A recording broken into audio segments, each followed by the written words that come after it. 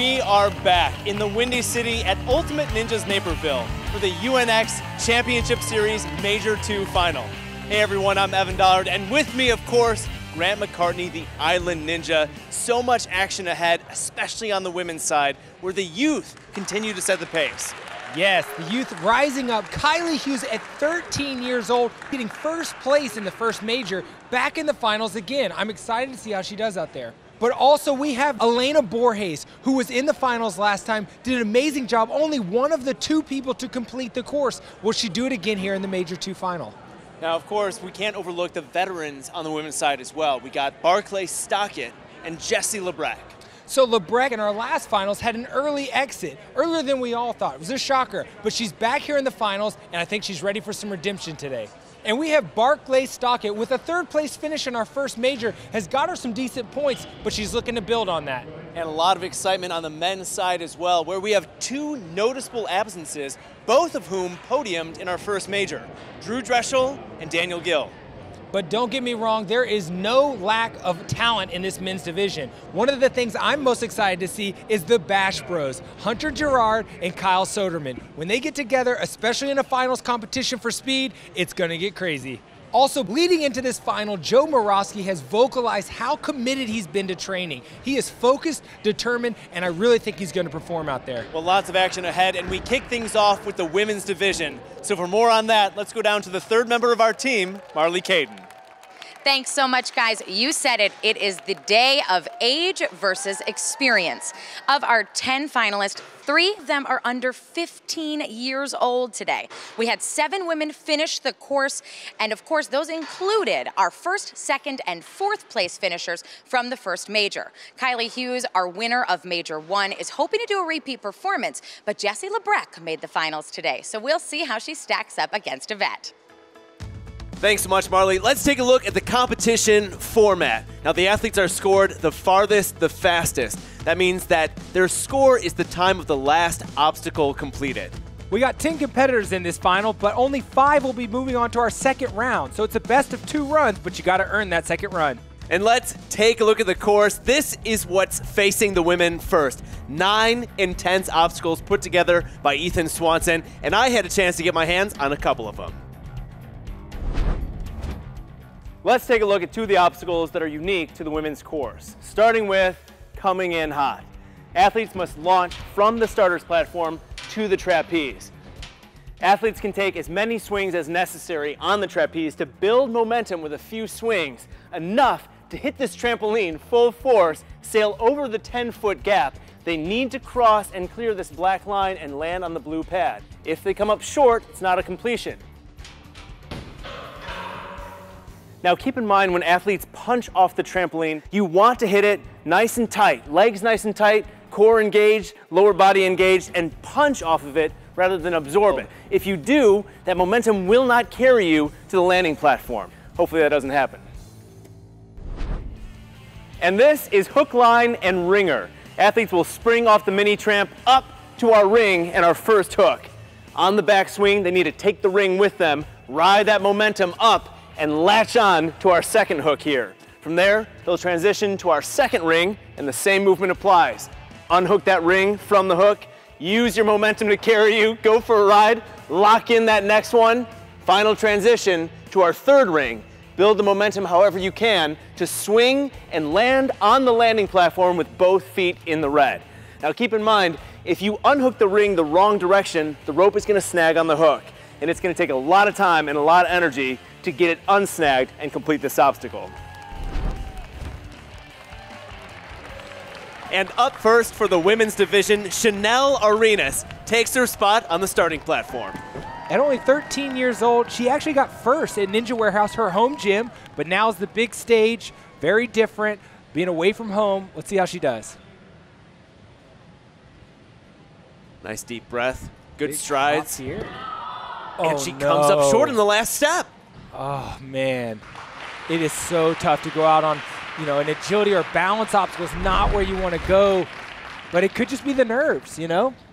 It could be. I mean, you see right there, she was looking solid through the first few steps, but just didn't have the momentum and the reach to hit that final one. Gosh, putting her head down right away. She knew that was a silly mistake, but it happens in Ninja all the time. Up next is 15-year-old Olivia Colasano. Taking off here. We can't take this first obstacle for a gimme. It's definitely, you got to be on the obstacle you're on. It's something I tell myself before I run the course. It, you can slip up anywhere, but Olivia was second place in the Austin um, location qualifier where she earned her way into this position. Very strong. I've seen her out at multiple gyms doing different events in Ninja, so she's been training a lot. Very strong on the swings on swings. Nice and composed, locked off. I love her style here. Yeah, it shows, man. I talking to her before this competition, she was just saying if she did take home the prize money, she would immediately just quick off to say, I would use it to do more ninja events, get more ninja equipment, fly to more ninja competitions. She is really committed to this sport, and uh, we're seeing it. She looks really smooth and comfortable out there.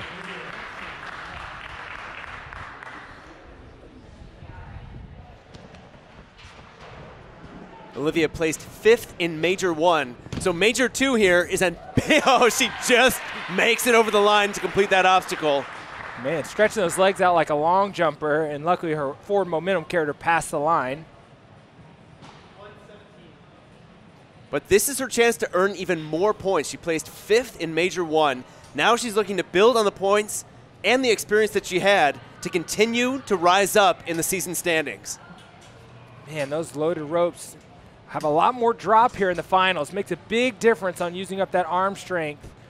She's just swinging with a straight arm, is good to conserve, but even that rope getting caught in her leg there is just one more thing to throw off your swing. She's got to adjust. She's got a little sideways swing going. Yeah, that sideways swing is eating up a lot of her grip strength right now, just hanging out in no man's land. Ah, she's fortunate to be having that knot there. That helps. There she goes, pull back.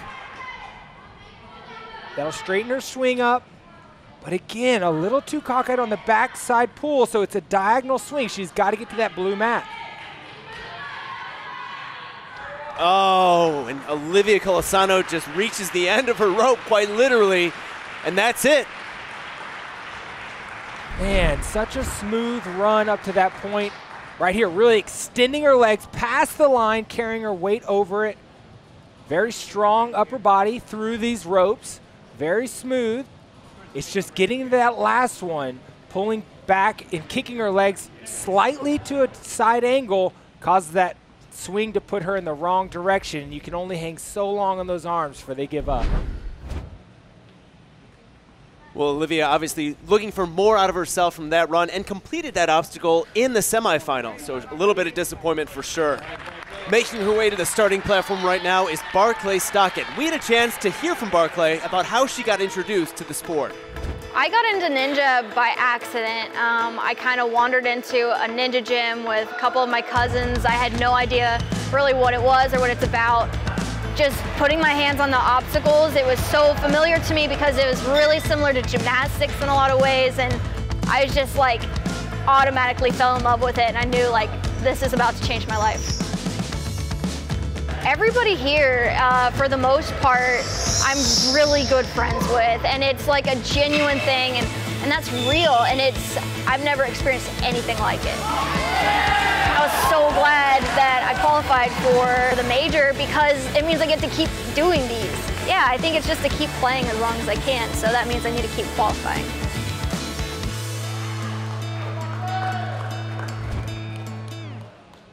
Barclay's coming off a third place finish in our major one. She's on the course, looks really focused, but she's got that sparkly attitude. I'm sure she'll see a, we'll, we'll crack a smile somewhere out here on this course.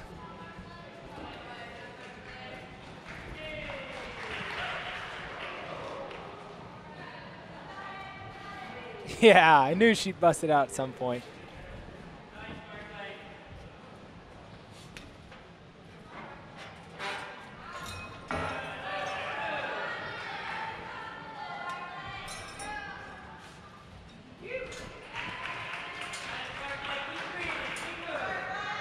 Barclay's background in gymnastics has played a great deal in her body awareness, but also that training she puts in on that upper body, she feels very comfortable hanging from her arms.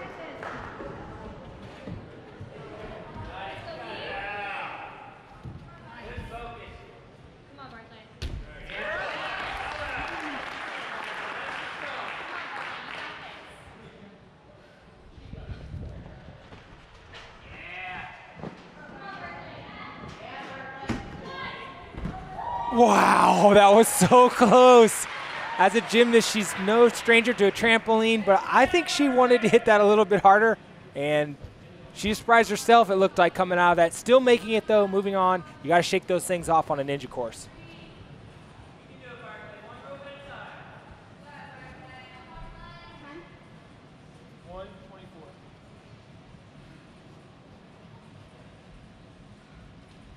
Yes, I could tell by the way she came off of our pipeline obstacle, went straight into the trampoline there coming in hot. So she's got a, a strategy to get somewhere quick. Now, as a competitor, you're always looking to see, am I trying to complete everything, or do I want to go as fast as I can to one certain obstacle, as it sometimes can be a race. There's a lot of strategies that go into this, but everyone's got to think top five get a second run at this course. So you got to move quick. Unless you need to tie your shoe, of course. yeah. Barclay, I think part of her plan must have been to get here quickly or finish that obstacle, last obstacle quickly, and then now to focus up, as this could be one of the obstacles that really caused a lot of people to go down.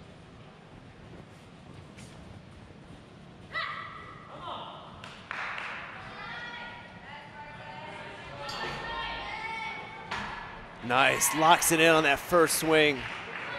The efficiency of her pullback on that last one, the rope was very taut as she pulled back and gave her a really gentle swing. Again, see how there's not much jerk in her swing.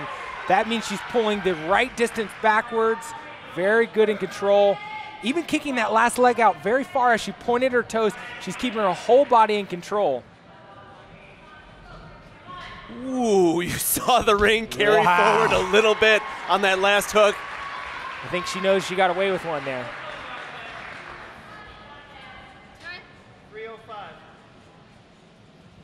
And now Barclay faces the first of two new obstacles on this finals course. This stalactite obstacle is not easy. It's one of those things you got to decide whether you want chalk on your hands or not. Too much chalk on a smooth surface like this and it causes you to slide more, but definitely sweaty hands, there's no chance of holding on to these. Yeah, you can see her whole hand takes up one stalactite. There is so little room for error.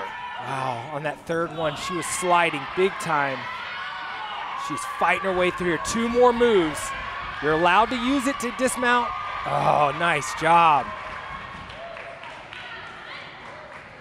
She rushed into that, but I think she knew it was a good hold. Rings are usually a good solid hold. She's short on time though. Oh my goodness, and just comes up short, reaching for that ring. It's as though she was out of energy. She knew she had to make the move at that moment or it was going to be over. Yes, here's that little topple, you know, finding her balance, and we see that little smile right after that, getting in the zone. I think right here she wanted a little extra height out of that, but uh, got there, so still moving on, and then just timing out here. I think she had to rush that last obstacle, but great run out of Barclay Stockett. Well, let's go down to Marley. Let's start at the beginning of an amazing run. Just a little shy on time there at the end. You, this last step in the Sidewinder steps gave us a little bit of a shock. Did that throw you off mentally? Um, no, I actually thought it was funny. So it was like a nice, like, comedy break for me. Um, made me feel a little bit looser. Actually, to have like had a little wobble, because then it's just like a little lighthearted after that. Whew. And our first woman to tackle the two new obstacles to the finals. Will you approach them differently in your second run? Um, well, hopefully in my second run, I get to the rings in time to finish it. But um, I think the way that I went through the second to last obstacle was pretty decent. It all looked good to us. I certainly couldn't do what you do. So go get some water, take a rest, and we'll see you for run two. Thank you very much. And on the starting platform, our Major 1 champion, Kylie Hughes. 13 years old. She shocked us all last time by an amazing run out there.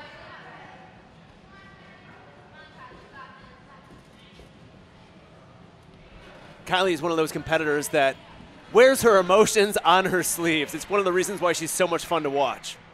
Yeah, her and I operate the same in that regard. And this is her home gym, though, so she's done great things here in this gym. She does feel comfortable. She's younger at only 13 years old, but she does have that home court advantage feel being here at her home gym. Something noticeable about Kylie's style is that she does a lot of full extension, where Barclay Stockett has the upper body strength to spare, and Kylie might as well, but she definitely likes to conserve it on those suspended obstacles. Yes, body different body types play out differently on the course. I like to leave straight arms when I can, saving my biceps. Barclay's got a lot of bicep muscle where she can just stay in a locked out position, which actually gives her more control. What can happen to a competitor with longer limbs is you get a little more swing and a little less body control from time to time. But Kylie shows us, hey, do it how you want. She got first place in our first major.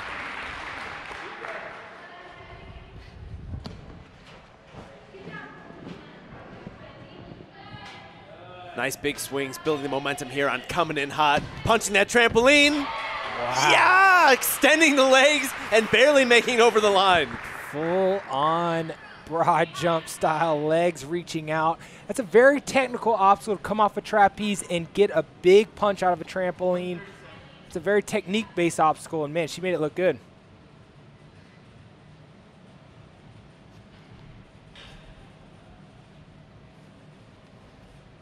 Ooh, man, she's just already starting to slide there. Now, these ropes have been adjusted from our first qualifier. There is more of a drop. This one is even further on the third one. Ooh, big miss on that. She's got to build some momentum here. Nice reach. Ah, and her grip just gave out. Oh, man, that's how the course change really plays out differently in the second round of doing the course. She's on this obstacle. It drops so far. Great control there on the pipeline. You can see the two feet as point of contacts in order to absorb that impact. Right here, hitting the very end of that trampoline, extending, like you said, broad jump style. But this is where she got hung up. Yes, just having those misses of the grab on the rope before, too, every time you miss can really just bum you out. Well, hopefully that's far enough, fast enough for her to get another shot at this course. And up next, Elena Borges. Elena did an amazing job in our first major here. Seeing some of her highlights because she was so calm and composed. Kylie showing her emotions on there. Elena, it was hard to tell what she was feeling because she was so focused. Finally getting her to smile by the end of her run, but it did an amazing job getting second place overall and being only one of two competitors to make it to our buzzer in our female division. Can she do it again today? I'm ready to find out. Once again, maintaining that composure. Very stoic competitor and so, so talented. Wow, that's got to play in your mind. A little slip there on the agility steps. So when you have a little slip up like that, it can cause you to think, get too nervous, excited, can cause your hands to get a little sweaty. Every move matters. Elena doesn't quite show her emotions physically on her face, but she could be causing her hands to get a little sweaty or something on the course. It affects athletes differently. Let's see if it plays into her run here.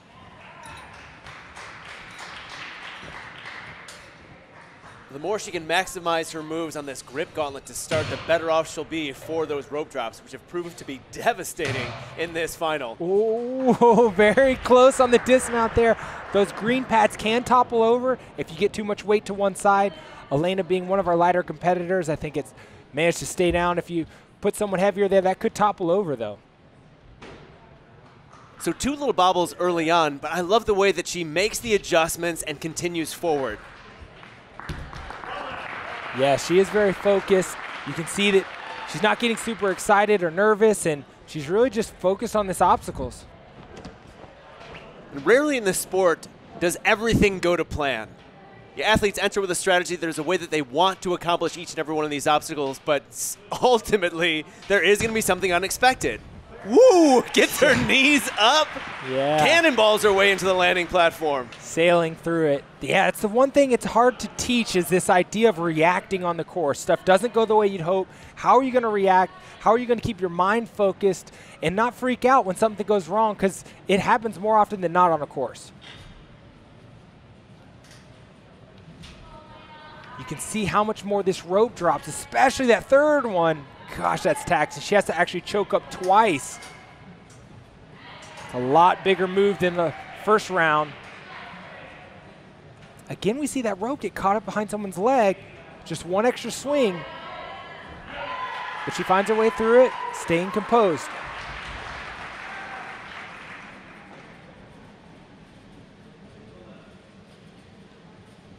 Elena taking a beat here to catch her breath.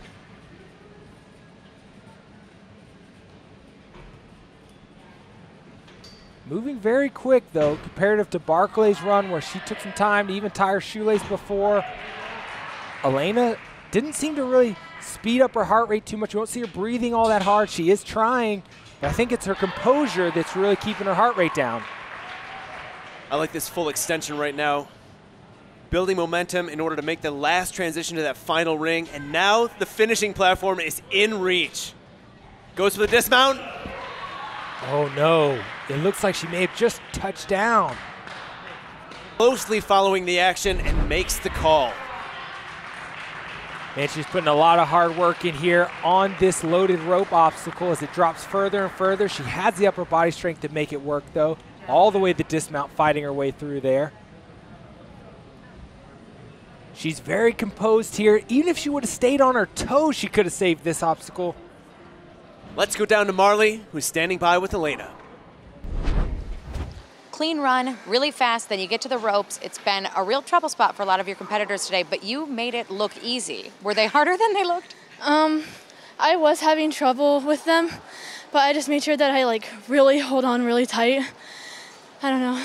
And then we move on to hook, line, and ringer. You had the same issue in the semis, that first ring giving you some trouble when you tried to hook it up there. Mm-hmm. Yeah, I don't know what is with that one. I guess I'm just really tired after doing the ropes. And how hopeful are you to make it to the second round of the finals? Um, I'm just happy that I got there and I'm I just got to compete again. Good attitude. Go take a breath and maybe we'll see you in a bit. Thanks, Marley. And up next, Isabella Wakeham. Isabella's 15 years old. She's actually got first place in her Austin qualifier.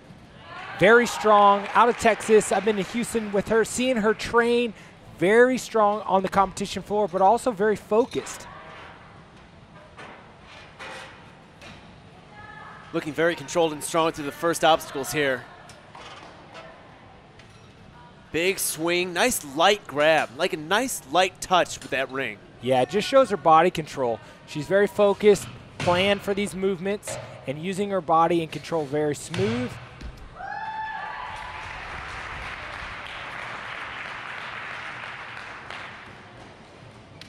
Now onto the pipeline. She doesn't seem rushed. She doesn't seem hurried, as if she's trying to get somewhere fast. She seems as if she's going as if she's going to complete everything. And once again, seeing that control on full display through pipeline. Another obstacle completed, looking very strong and composed right now.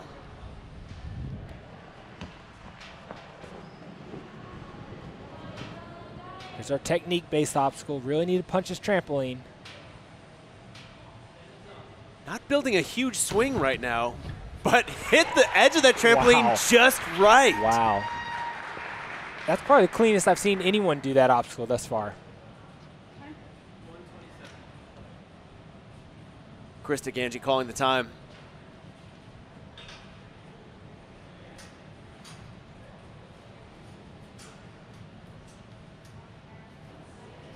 Choking up locking off, yeah, choking up, locking smooth. off on those ropes. That's how you want to do that obstacle. Oh, Ooh. Came down a little crooked there on the landing platform. oh no. Oh no. Looks like that landing chute might have just rolled her ankle there. Her time's still going. She's still on the course. She's thinking about continuing on. But I think she knows it's really hurting her, else she'd be up and going. This is a very tough young girl. So the fact that she's not trying to pick up and move on means she's done something to her ankle. We'll see what happens here when she tries to put pressure on it. Is she going to continue on? Man, if she hits a trampoline with a hurt ankle like that, it's going to be very painful. But she's going for it, showing how determined she is to do well in this competition. Wow. I am I'm honestly cringing looking at her jumping up down on that trampoline. I'm right here with you, man. But when it comes to her arms, she is still very controlled. She must have known all she's got to do is get to her arms and stay off of her feet. But that dismount is coming ahead. Having a hard time lining it up. Ooh, nice. Wow. Reaching back, activating the core, elevating those knees, and hooking that ring. This is what I'm worried to see. This dismount here. She's going to have to land on one leg. A little bit of an elliptical swing. Oh! Slips right off and collides with the truss. She keeps her leg up, the injured one she keeps high. But coming right here is that dismount where something goes wrong. Oh, her ankle just tips over there. That pit pillow is a landing platform, but it's also a soft landing. So she lands, it just rotates over. What determination out of Bella, though, to get up and continue it on. Almost able to even complete the next obstacle, anyways. Let's go down to Marley, who's standing by with Isabella. First off, how are you feeling? You took quite a stumble off that dismount Yeah. with the ropes.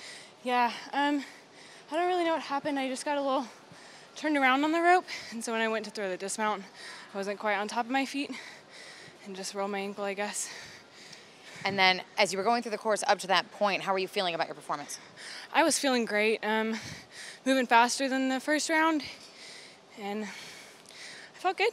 And you always say that you approach the course more from a mental than a physical standpoint. Which obstacle did you have to think the most about? Right. Um, thinking a lot through the trampoline bounce to make sure my body was set up correctly for it. You don't want to have your chest too far back because then you'll buckle. Um, I had to think about that one a lot. And um, the sky hooks were making me nervous too. We haven't had any finishers yet, so there's still a chance that we might see you in the second run. So go in the back and we'll see how things shake down. Thank you. Welcome. Thanks, Marley. And looking to be our first finisher, Jordan Carr. only 13 years old. And we're seeing a handful of 13 year olds here competing in our Major 2 final series. The youth are rising up. I love seeing it. Let's see how Jordan does out here.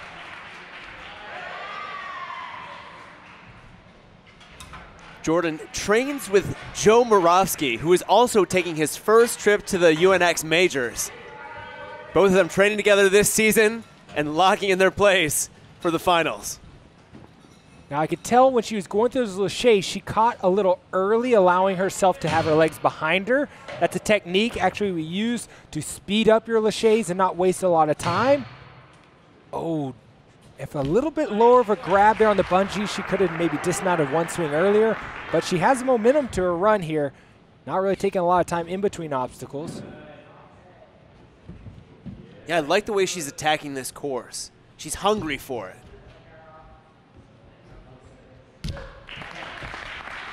Rounding the corner, getting straight into it here.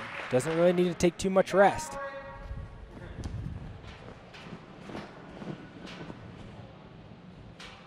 And we saw earlier, as long as you hit that trampoline in the right spot, right at the edge there, didn't have a whole lot of momentum, but because she hit the trampoline exactly where she needed to, she had just enough to make it to the landing platform. Now it's time to turn on the grip.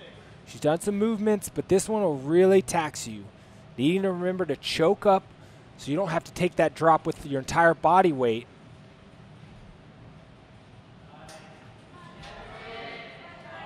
This third one's the especially far drop. Keep those legs up. Having to choke up three times and then making a fourth minor adjustment. Just misses the connection to that last rope. It's a lot of time on this rope. Now her swing is getting crooked. She's got a lot of work ahead of her. She's going to correct the momentum of that swing in order to be able to reach up to that final rope. Now your feet are allowed on the rope if she can get high enough to wrap them in. But it looks like her arms just give out. That's a very tough obstacle to be hanging on by your entire body weight. Yeah, that's not where you want to get hung up. All those extra swings come into play, and it really is tough to correct your swing and finish that obstacle. But looking so strong up until that point. Very fluid here on our first two movements, letting it drop, resetting on the backswing. But then again, on this last one, her swing got a little wonky. Well, that score leaves Jordan Carr on the bubble, and our three toughest competitors from the semifinals are still to come, including Maggie Owen, who's standing on the starting platform right now. Maggie Owen qualified here. She also did our first major here. This is her home gym. You know she's got to be feeling good, and you can hear the crowd really rooting for her. Interesting transition there. Got a little hung up, hanging by one hand, but is able to get both hands on it and continue on.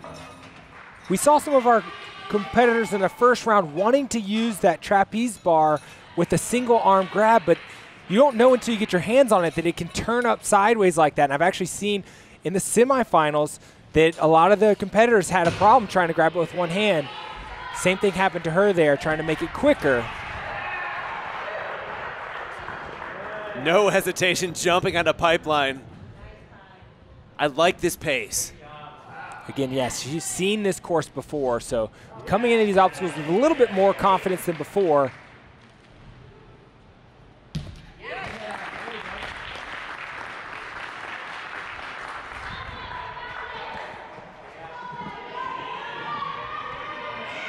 Crowd of the home team cheering her on.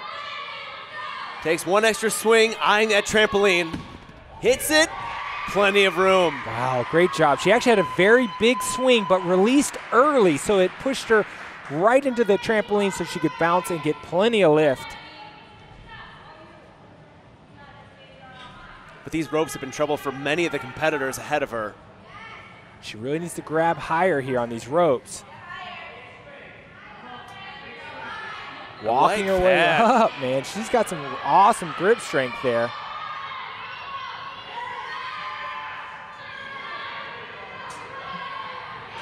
Good grip strength and way to maintain two points of contact on those ropes in order to make sure that her swing was headed the right direction. As she was doing that too, you notice every time she was pulling back on the rope so that she would get her swing going. Got a little wonky here though. We've seen it happen. She could reach back to correct her swing, otherwise she's gonna have to just hang tight until it straightens up.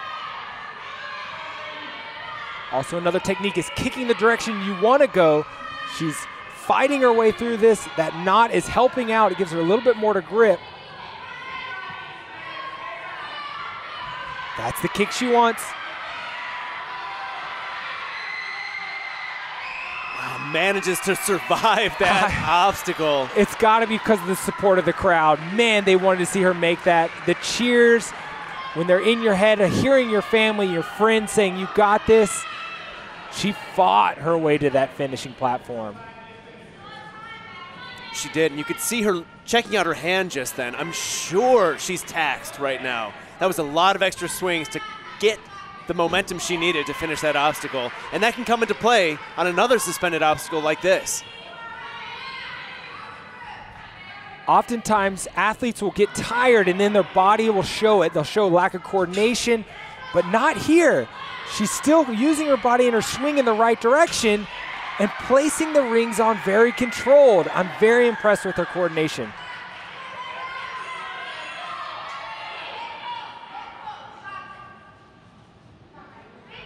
Really lining this one up. One swing and plenty of room on the finishing platform.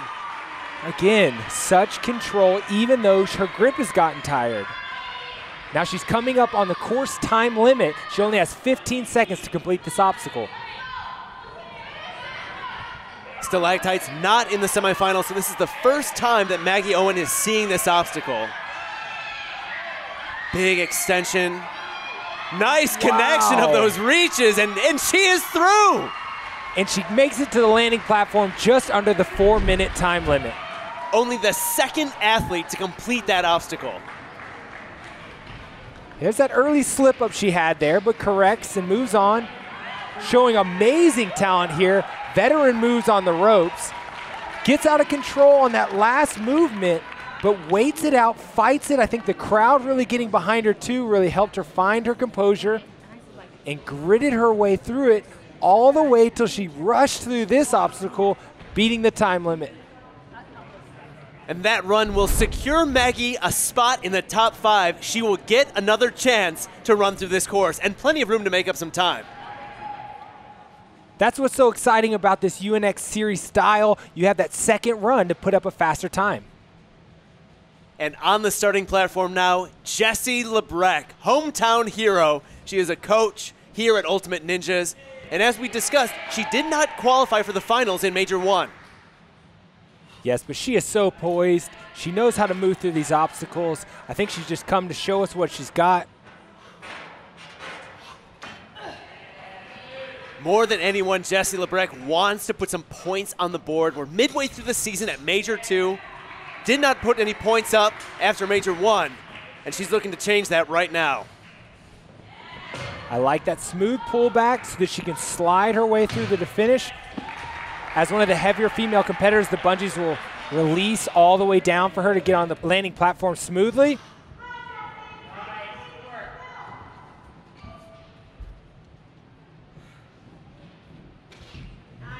Jesse's so strong. Has a background in track and field. Tall, lot of reach, and she is using that to her advantage. Now, there's no trampolines in track, so we're going to have to see how she pieces together this trampoline move here. Very good. Now, the trampoline is set further back in this finals competition. You have to get a little more out of it. This is the first time those ninjas are seeing that, and they're experiencing it, so you're seeing them really reach for that landing. Great job out of Jesse.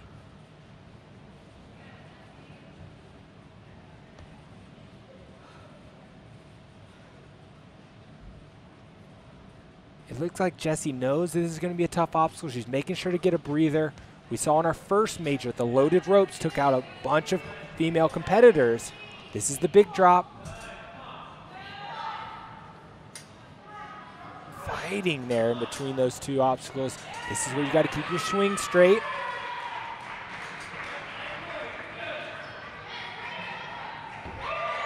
Light work for Jesse.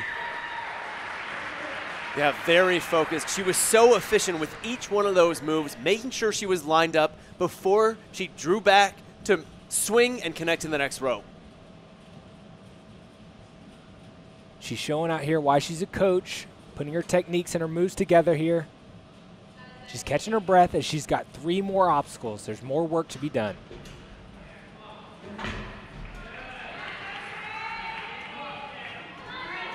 Little turned around there, hung on by one hand, was able to correct, and she's off. Nice. Reaching back to lock in that ring. Good body awareness out of Jesse Labreck. And even there, kicking forward, sort of a blind reach for that third ring. Very good landing and control. She seems to be grimacing a bit out there to show maybe she's a little tired, but this is going to be a straight core up, tight grip obstacle on this stalactite. Right now, she's looking at 50 seconds to complete the next two obstacles. Can she be the first woman in this final to complete the course? Doesn't seem like her hands are sliding at all as she's going through these. She seems very confident. And she's still got time on the clock. But it is running down with 30 seconds left. So she's diving right into it. Got to build up some momentum here. Grimacing, screaming. I love it. Superwoman grabs his back reach. It's not over. You have to transfer over. She got 15 seconds. Find that control. Final swing, makes the dismount, and she's got the buzzer. Jesse Labreck, the first athlete in our women's final to hit that buzzer. And with only seven seconds left, way to stay focused out there, Jesse. Now this is a little bit further jump in this finals here. He's making it, heels making it pass on that landing platform. She looked worried going into these loaded ropes, but made it look simple and easy. Great body control. Again, wonderful body control. Throwing through here, dismounting with one arm. This is the first time we've seen this obstacle go down. And for her to ride it through, dismount, and run her way to the buzzer, that was a great run. Let's go down to Marley, who's standing by with Jesse. Our very first female finisher. Congratulations. Thank you so much. So at the beginning, a few very deep breaths from you. Tell us what was going through your mind then. Um, I get really nervous, and I just get to tell myself to relax, keep breathing through the course, um, and just keep my my technique and what I'm looking to do in check. Well, you could have fooled us. You looked very calm.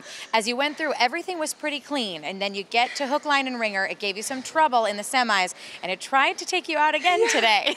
It was tiny bit close, and I had a few little weird calls where I spun or whatever, but I felt okay. I felt in control. I just would have liked to do it a little bit smoother. And then you get to the new obstacles, the stalactites yeah. and the superwoman. Walk me through what those were like added on to the semi course. I think I put too much chalk on before the stalactites. Um, they were a little slick. I really felt it in the last two moves. I was like hanging out with everything I had. And then that one was just big, powerful moves when you're really tired. Well, a change for next time because I am confident we will see you in the second round. Yeah. Congratulations again. Yeah, thank you so much. Thanks, Marley. And now our final athlete in run one, Abby Clark. We caught up with Abby, and between her and her boyfriend, Joe Capo, this sport is a family affair. I got into Ninja um, about three years ago. I was a gymnast for almost 20 years through college. My boyfriend is also a full-time ninja, and we train together, and then we also have a dog, a border collie, who's about two years old, and we just got started with him in agility about almost a year ago. Tunnel.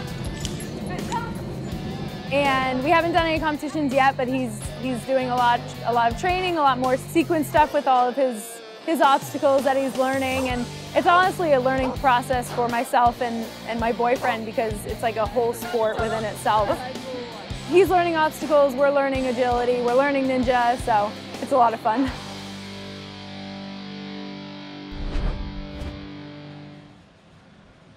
Abby Clark saying she's got 20 years of gymnastic experience. She's only 26 years old. That means there's only six years of her life she wasn't a gymnast. Lifelong athlete, now dedicated to this sport, and looking very strong through this first obstacle.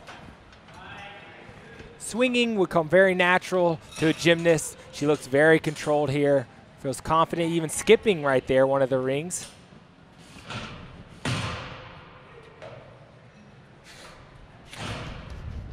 To the untrained eye, you might miss those little pullbacks, which are very veteran moves to remember to do. Place finish in the semifinals, so she has to have some confidence coming into this.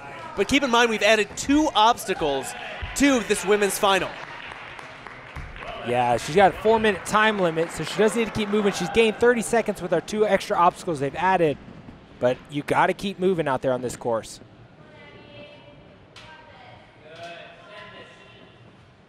Only one woman to finish this course so far, and that is Jesse Labreck.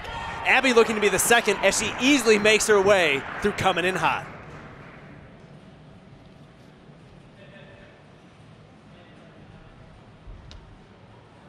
Now, something you don't see on the gymnastics floor is the ropes. You may train that in practice, but moving through them Tarzan style, in this case, Jane style, she is doing it very smooth, every pullback and inching up with her arms, keeping her body going straight forward and back. Not getting a side to side swing until that last pull, but she saves it. Abby very efficient up until this point, and that is critical, especially with this new extended course. The last three obstacles are all suspended.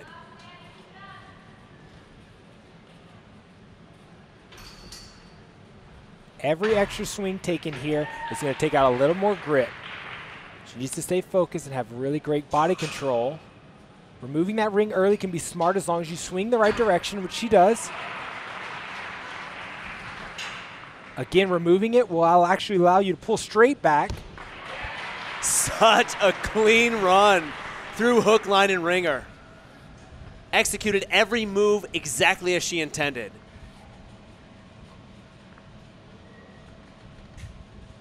Now again, a downward grip like this is not a gymnastics hold that you'd be used to, but she's been training and she's making it really strong through this.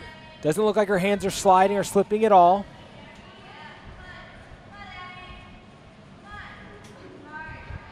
Interesting choice to go back on the obstacle.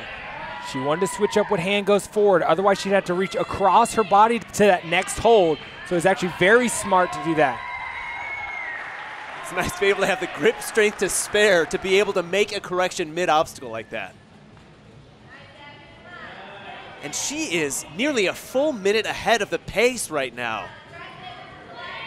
As long as her grip holds out and she stays controlled on her swing, I think she's going to make it to that buzzer. Nice full extension making that reach. One more transfer here and then a swing to the finishing platform. A little bit of a sideways swing. Yep. Stay straight. Oh, Oh, and she's man. got it. Earning some style points on the dismount before hitting the buzzer. The second woman to complete this finals course. Abby was so composed out there on the course. Working her way through the loaded rope, stayed very straight forward and backwards and not sideways until that last swing got a little wonky, but dismounted in time. And that's only if I'm being super critical of her because here she is on the stalactites, had enough grip to go forward, come back, fix her hand so she didn't cross over her body to make it through to this dismount right here. And here on Superwoman, she actually made really light work at this obstacle, showing her dominance as she got first in the first round and getting first again here in the second round. Yeah, so much strength to spare. Again, three suspended obstacles to finish this course, and she is in control of every single movement.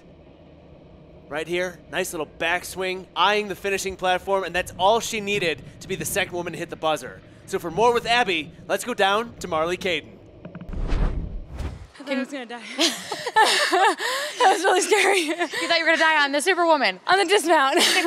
You did miss the landing pad. I It went right on the gym floor. it's all right. Did it hurt? Uh, I did hit my knee on my chin, but it's okay. You'll survive for run two because we know we're gonna see you there. Yeah, I'm good. I'm ready to go. So first place in the semis, and you don't know this yet, but you are first place in run one of the finals. Yay! Wow. I didn't know that. Obviously. You go through the course so effortlessly and so clean that you almost make it look easy. What parts of it are hard to you? Because we certainly don't see them.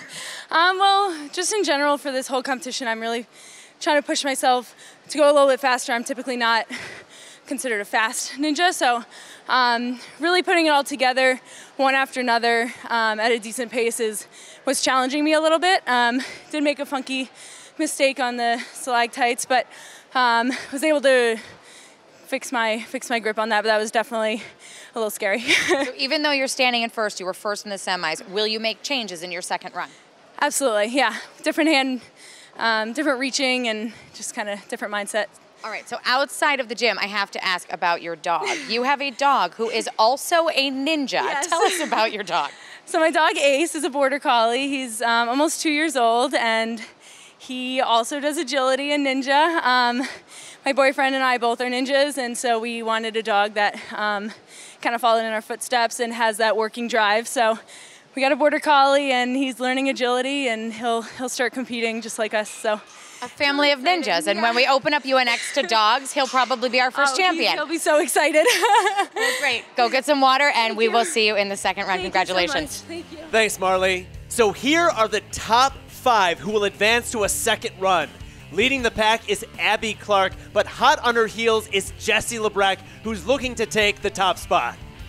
And our sixth place finisher, Elena Borges, just missing the cutoff, as well as Kylie Hughes. They were both top finishers in Major 1, not getting a second run in Major 2.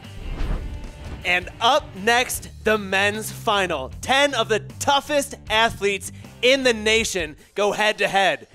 Kyle Soderman is one of the most electric athletes, and I cannot wait to see him hit this course. But we can't forget about the weatherman, Joe Moravsky. Let's see if he can make it rain. We're getting right to it. So to set the stage, let's go down to Marley Caden. Some amazing action from our female finalists, but now it's time for the men.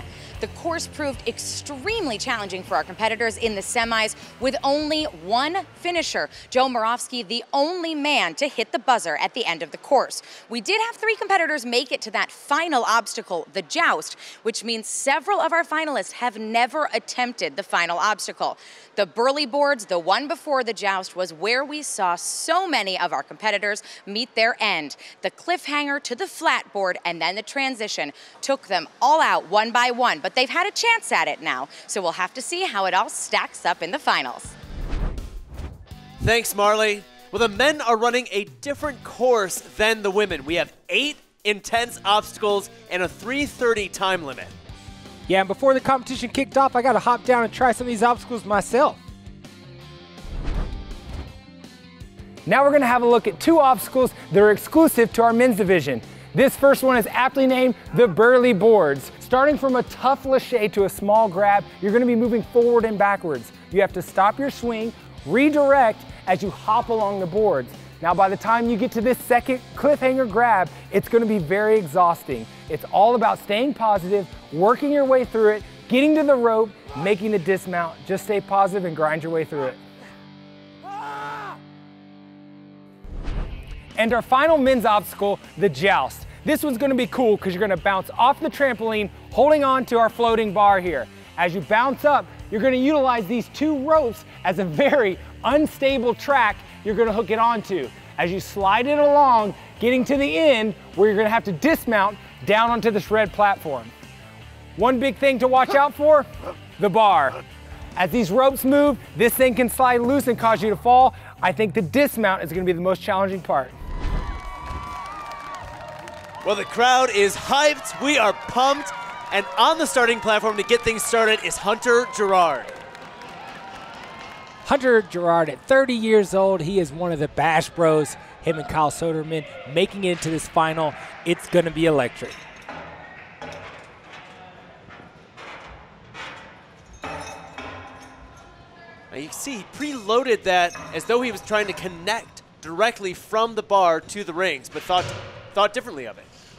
If these athletes just had time to play on the course, they would be nailing those moves every time. But again, he's only had one run at this course, so he's just trying to see where can he save time. It looks like, yeah, he was going for that preloaded swing. Didn't work out exactly right, but it did keep his swing in motion, so he didn't have to take an extra one. This is where the course diverges from the women's course. This is the big old laches.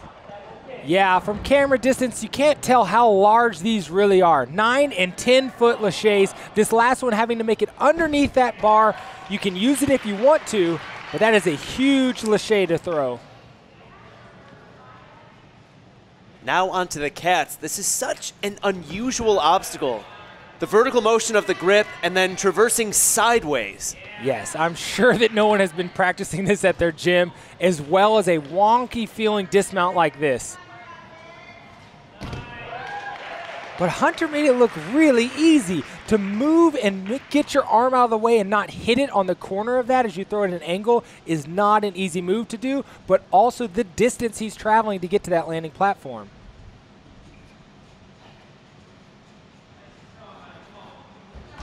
Taking a beat, wondering what the time is, chalking up because he knows. Up next is the Burly Boards, and this obstacle, as you said earlier, is gnarly. This is burly and it is gnarly. You have got to make this grab right here. That has got to be one of the most critical moves on the course, but notice how side to side he is right now. Swing a lot. He's got to stop that swing side to side and move it forward and backward.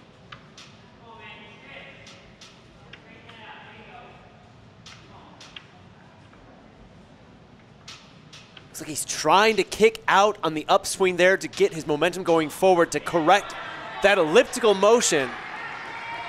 And just not having a whole lot of luck. He had to go for it. He really did. Oh, Running out of gas. Man. And unfortunately, that's the end of Hunter's run. That was a great run out of Hunter, but the competition will be heating up. People will be going harder and faster through this course. He does make light work of this huge, awkward lache here. But getting into the burly boards, you've got to keep that swing to a minimum. He's getting that forward and back swing, making that really tough cliffhanger grab, but then has got to straighten himself up there, and that swing was ultimately what caused him to fall. Well, Hunter obviously was hoping for a better performance than that. We'll have to see if that holds up for him to get another shot at this course. And on the starting platform now, Michael Torres. Michael Torres is a really fun athlete to watch as he's so explosive. He also has great grip endurance, but watching him use that explosiveness as he links these obstacles here gets a little wonky though. I think he may be using a little too much power.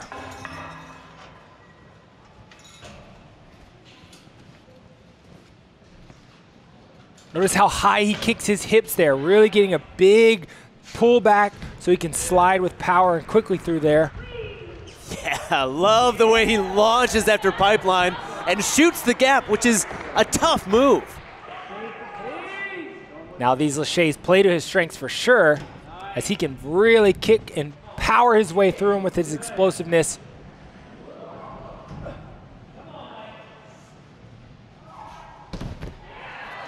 Really launching himself to that landing platform. Bit of a grimace on his face. I mean, it's just tough to tell what a 10-foot lache looks and feels like until you actually see it in person. These guys are making it look really easy to throw this big distance. Little bobble there. But again, who is practicing this move? It's not something you ever really get to see. It's the first time any of them are going to take this approach to getting around an obstacle. Oh. Oh, no. Really smart idea. Didn't fully play out. This was something I really wanted to see. Someone shoot that gap there. He makes a very quick move through our pipeline. Now working through the cat grab, slips on that left hand, but holds on with his feet.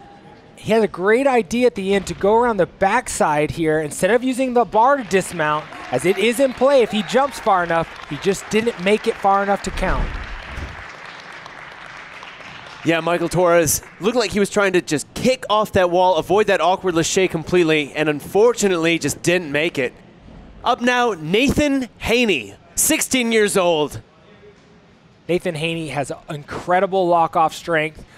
Very composed out there, loves doing ninja, has actually used his winning from different ninja competitions to buy himself a dirt bike. It's another thing he loves to do. Now I can see he was thinking that he could one-arm his way through there, but it actually backfires on him. You're allowed to have incidental touch there, as it's only going to hurt you to slow you down. He stays up and in motion. Yeah, Chris DeGangi gives him the all clear and he continues through. Little all over the place early on here. He's got to find some composure, collect himself, and really keep it together for the rest of this course. The ability to adjust on a course is something I think is really important. Also there, Nathan opting to skip that top pipeline, making good time. I think this is the moment where he needs to settle in and say, okay, we're on the course, time to settle down and get this done.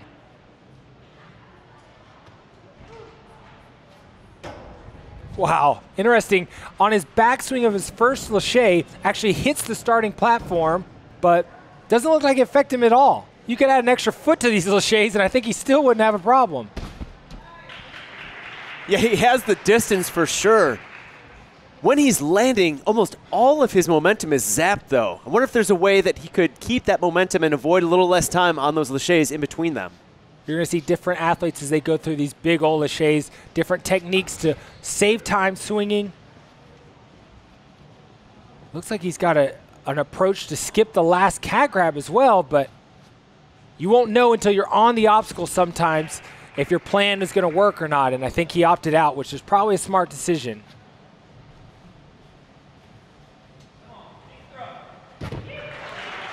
Now from that angle, you can tell when you're throwing that lache, your arm and shoulder flexibility has to be very high so that you do not hit that corner.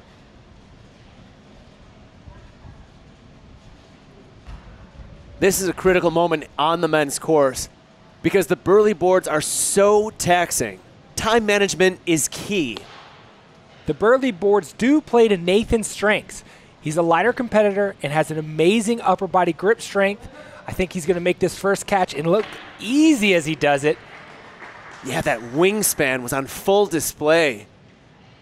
Looked like he reached out and nearly grabbed a hold of it before he had released the hold behind him. Now that technique actually helps to make him not swing side to side. Now as he's trying to change his direction, he doesn't have a lot of swing to fight. This moment right here takes a strong lock off. Oh man, those fingertips just barely slipping off on him. Yeah, once again, the Burly boards living up to their name. But Nathan, still a phenomenal run up until that point. Here in the beginning, what's going a little, little stronger than he hoped, getting twisted up. He adjusted though there, correcting his body position. I don't think that really taxed him more on strength as it did just time. Now making this first grab, he looked so strong on the Burly boards, locking it in, reaching around to the other side.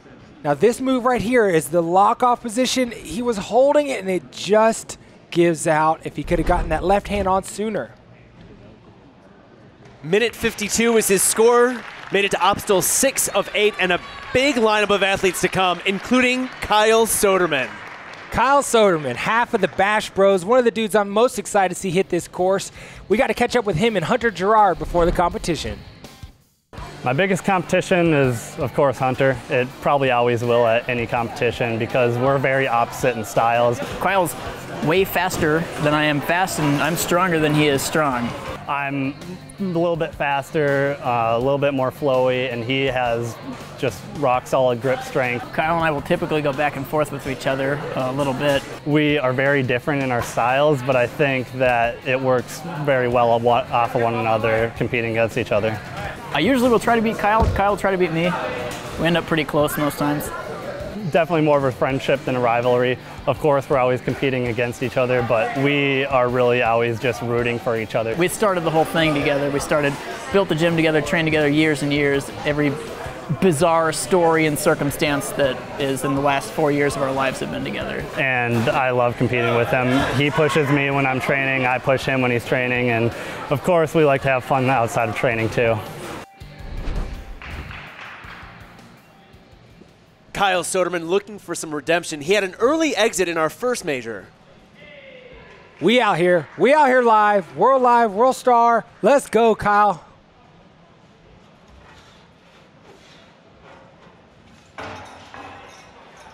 Notice those little forward kicks that he has as soon as he grabs. That allows him to not have to swing one extra time on the back. All those miniature moves help save time. One of Kyle's strengths is moving quickly through the course.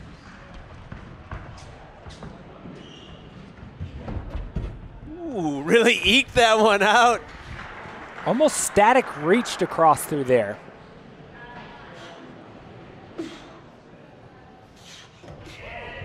Ooh, it almost looked like he was hoping to link those.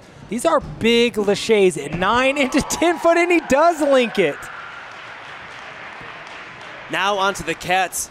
This is an awkward obstacle. The transitions are so, so tough, but Kyle makes it look easy. Wow, Hunter and Kyle practice laches all the time. If you follow them online, you're going to see crazy patterns of laches, different angle dismounts that they do, and it's really paying off right now. Yeah, very fast paced. Just under a minute 10 through that first set of obstacles. Now he's staring down the barrel of the Burly boards.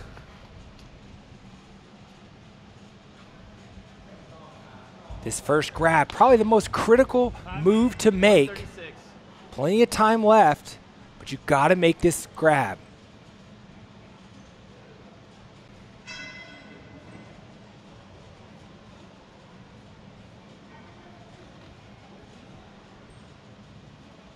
This obstacle took Kyle out in the semifinals. He's taking a little extra ah. time now. He doesn't want to repeat that mistake.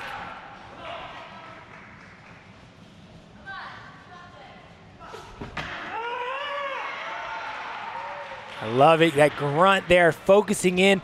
But again, we see that side to side swing. How is he going to correct that? Smart move. Kick your legs where you want to go, and it will change the direction of your swing. Now the toughest part two here. Wow, opening his hands up from that view. You could see how he just powered through that as his grip was opening up. That was incredible to watch. That quick one-two transition.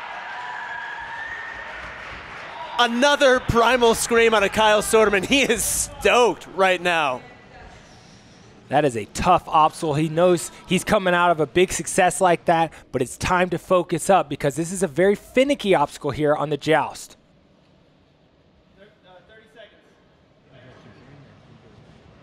Uh,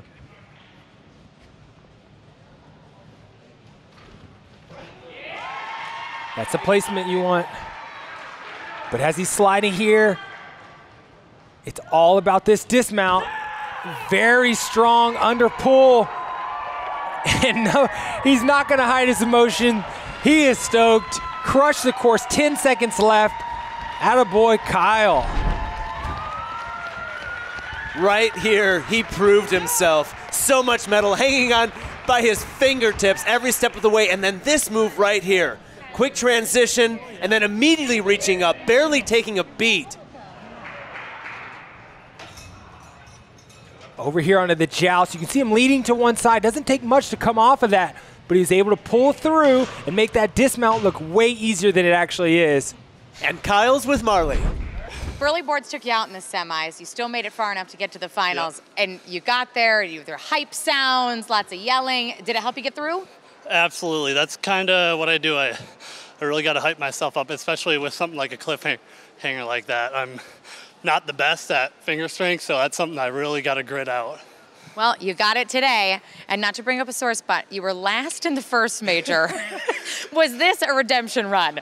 Absolutely. And I think the thing that was driving me most is Ethan still hasn't picked me for one of his athlete predictions. So that's my main motivator right now. You were just coming for Swanee with that run. Oh, 100%. 100%. 100%. So you completed your our only our second competitor of the day, including the semis to finish the course. The first we've seen in the finals. You had a nice clean run, but will you do anything different in your second run? Uh, just speed it up. That's about it. All right. Well, we look forward to seeing it done faster. Thank you. Congratulations. Thank you. Thanks, Marley. And up next, Donovan Metoyer. Donovan not only has amazing strength, but let's be honest, amazing style. Always looking good on the course. Kind of go with a Bruce Lee theme today. Got fifth in our first major. Has a lot of different strengths on the course, though. Right now, it's being very speedy, but look at that lock off strength as he moves through that obstacle. Yeah, the lock off is so impressive. As you said, it, it exerts more strength, it exerts more energy, but it gives you more control. And that control was definitely on display throughout those two high intensity obstacles. It's a very quick pace here. Now heading into the big old laches. This is just a grinding obstacle. It's one that you just have to take multiple swings and big throws. If you didn't see his qualifying run back at Traverse City Fitness, go check it out as he throws a distance on the wing nuts that was just huge. No one else even thought about skipping a wing nut.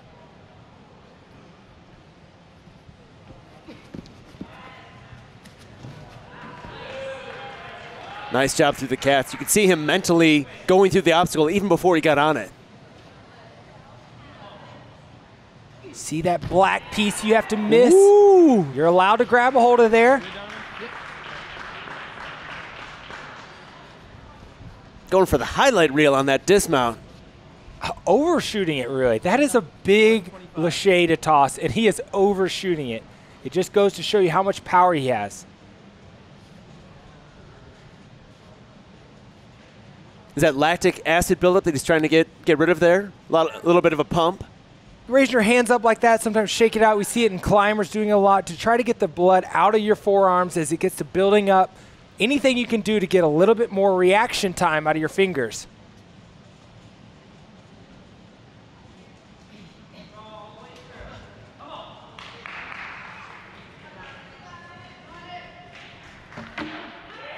Wow. He caught that really high, allowing himself to get time to lower. Very smart move there. It looks like he was going to bad hang, but what he was actually doing is raising his legs to kill his side to side swing. Now, as he's starting to move forward, he doesn't have to fight that. There's a strong lock off. Wow, he was slowly sinking, but still yet very tough to hold that lock off after all the other obstacles he's already been on. Yeah, so much upper body strength. Nice big swing here, eyeing that finishing platform, and he's got it. He's through the Burly boards. One more obstacle stands between him and the buzzer, and it is the joust. Such a clever obstacle created by Ethan Swanson, the course designer here. It's a mixture of like a flying bar, but also a pipe slider. Oh! Oh no! Looks like he could have got a little bit more height out of the trampoline because that one side just missed underneath where he needed it. As he throws this big lache here, overshoots it, almost toppling over, but he's allowed to lay on that obstacle, so no bigs there. Coming down to grabbing that cliffhanger, he doesn't even slide at all. Fingertips are locked in. Now, as we can see the mistake there, that left side just goes underneath the rope, causing him to fall to the ground, ending his run. 241 to the last obstacle completed, which is the Burly boards. Hopefully he'll get a second run, but now taking his first run is Dave Kavanaugh. Dave Kavanaugh, 33 years old, former firefighter, East Coast, Beast Coast representative. Ooh, misses that grab, but a nice correction. Preloads that link there. It almost feels instinctual at that point because it didn't look like he was going to make the link at all. But it seems like that's just the way that he is making his way through this course. Oh! Almost looked like he was running across the ground. But no word from Chris DeGangi, our course judge, so he'll continue on. What he is running across is this wall on pipeline. Very big kipping swing. He knows the distance is large here, so he's kicking very high, past parallel on the backswing. Now this last 10-foot lache, you've got to go onto the landing platform. Makes it look easy. It's more of a grinding obstacle, though. That can be taxing later on in the course.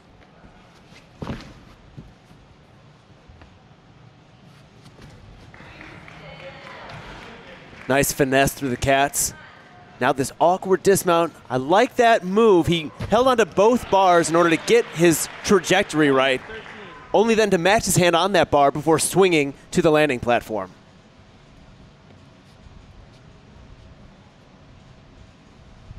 Course designed by Ethan Swanson out here.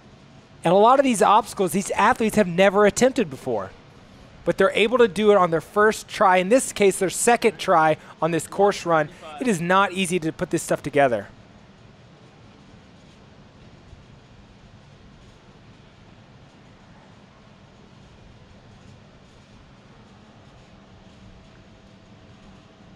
With a minute and 50 seconds off the clock. Dave's trying to get psyched up for this first grab. Locks it in. How's he going to kill this swing? There's the move. So the way he literally throws the board behind him, oh no. Ooh, it looked like he really rushed that transition to the second board. So he's working through pipeline here, takes a big leap all the way past the landing platform. Now on the Burly boards as he makes that first grab, does not slide at all, looking very strong. Has a technique of throwing the board behind him, but it still causes that side-to-side -side swing. Grabbing the corner is not going to help him out making it through that obstacle. Dave certainly wants another shot at the Burly boards, but is a minute 11 through obstacle six going to be enough to place him top five? Up next, Jake Murray. We got a chance to catch up with him where he told us a little bit about what it's like to train in the mountains of Colorado. Currently, in, I reside in Golden, Colorado, and I'm training there you know, almost seven days a week. Um, I love it. It's high elevation training, which is huge when it comes to pretty much every aspect of training. Um, largely cardio. Uh, so there's 17% less oxygen in the air, maybe a little bit less because I live at 6,000 feet up in Golden. So it, uh, I can always tell when I go down to sea level that things get a little bit easier. Jake placed second in our first major. He has a chance to really build on those points. He also did another qualifier at Ninja Warehouse where he got first. Didn't even need to do it. Was already qualified because of his placement in the first major.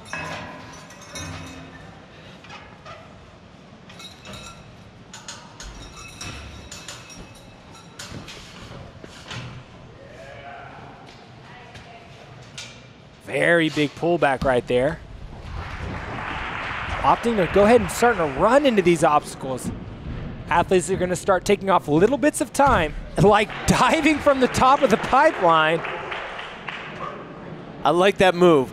I like putting your feet on the fourth one and just jumping to the landing platform. It saves time and grip strength. Jake again smart to short his grabs, allowing himself to swing forward. It's the next best move to linking your laches.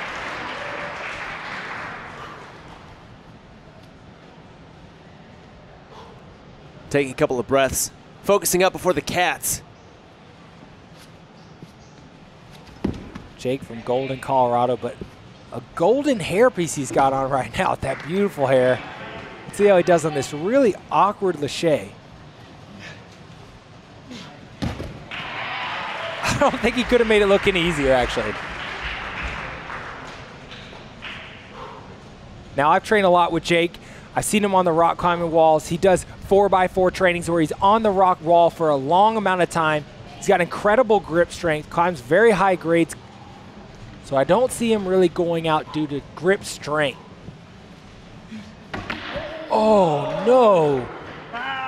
Well, you spoke too soon, Grant. Jake Murray, as you said, has the grip strength, so what went wrong? It might have just been coordination. When we get a replay of that, we can see exactly what had happened. As he's flying through here in the beginning, great composure, smart moves, not wasting a lot of time. A big leap here. Jake's not afraid to go big on the course runs. Now it looks like to me he threw his lache too far forward, causing his weight to go underneath the board, peeling him out. Jake completed the cats in a minute 20. That puts him on the bubble in the five spot. But our top three competitors from the semifinals are yet to take the starting platform. And right now we have Christian Yost. 15 years old, one of the young guns out here, but very strong. Also has a very strong lock off skill where I think he's going to use that later on if he can get to the Burly boards. Yeah, one of the first athletes in the semifinals to clear the Burly boards. So much grip strength. And then just came up short on the joust. So he's looking to get some redemption on that obstacle, but a few to come before he'll reach that point. Man, he is scrambling through this pipeline. He had a strong pace coming out of that last obstacle and is definitely trying to keep his time down. Yeah, he is fast and he is scrappy on the course. Wow, notice how he has his chest forward, really throwing the bar behind you. When you do that, it allows you to propel yourself forward. And man, he could have thrown, if you put two, three more feet on those laches, he still wouldn't have had a problem.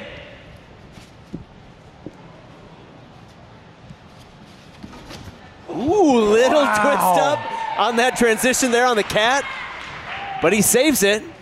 Notice how you have to run and put and your again. foot around to the other side. It's a very unique motion. Clear. Great recovery from the young athlete.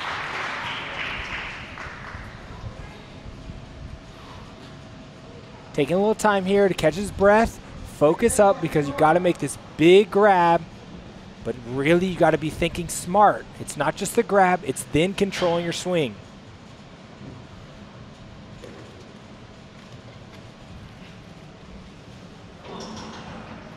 Ooh, kicks the obstacle behind him.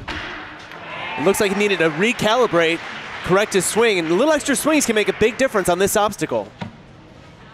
Now it's hard to tell the way he's coring up his body, allowing to stop that swing. He's actually fighting to stop it there. He's not just a letting his body move back and forth. That's how come he can move forward right here and have no side-to-side motion. And there's that strength, that lock-off transition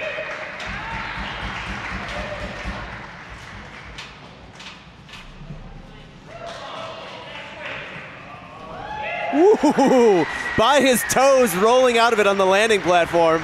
He's very active on the course. As soon as he got a, a hold of that rope, kicking immediately behind him to get some speed going to dismount. He's got to get some big height off the trampoline if he's going to complete this obstacle. Punches, lifts, ah, and only gets one side up, and that's not enough to lock in the bar. Christian taking almost like a helicopter or pole vault approach of how he's holding that as he jumps, just missing there. But on the cats as well, sliding down, last minute grabs on that one.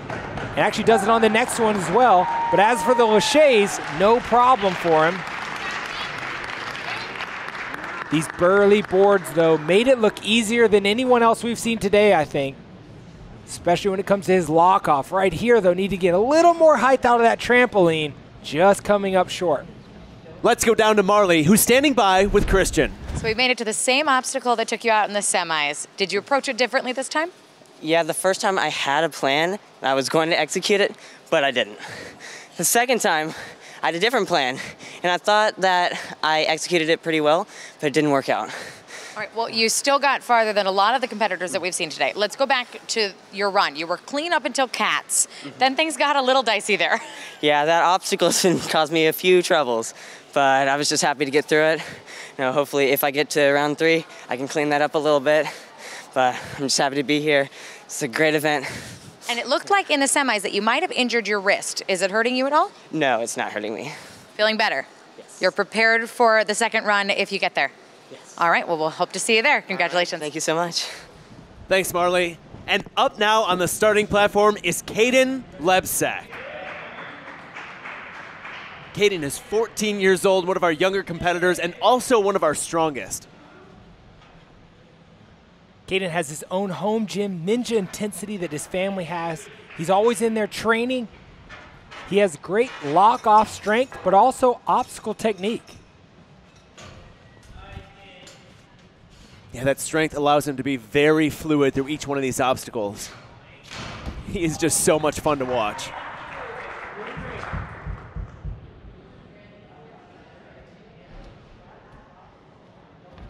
Not racing into pipeline like we've been seeing a lot of athletes. I think he has in mind that he thinks he can clear this entire thing. Caden placed second overall in our semifinals. The only obstacle that took him out was the joust. So if he has his eye on completing the course, that is the one to beat. Again, so much power in his laches here that he's catching it almost at height level and then dropping down. It looks like he can catch it with his teeth and barely making it onto the platform there. Uh, has a little bit of an underbar pull there on the last one, really shooting his legs to the landing dismount. Little twisted up on the cats, but a good correction. Looking very calm right now.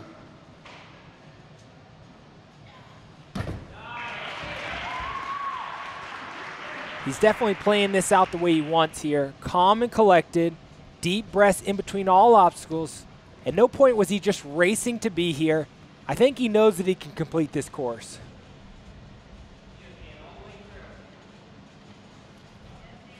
It really is a sign of maturity to set your own pace for a course. And locking in that first grab.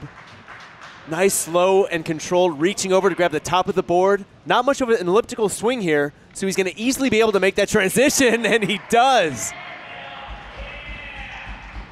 able to even do a side bump there on the ledge, just showing he's got the strength locked in. That's a lot of people were really just struggling to hold on to that edge. And for the second time in this major, he has made it through the Burly boards. Now staring down the gauntlet of the joust.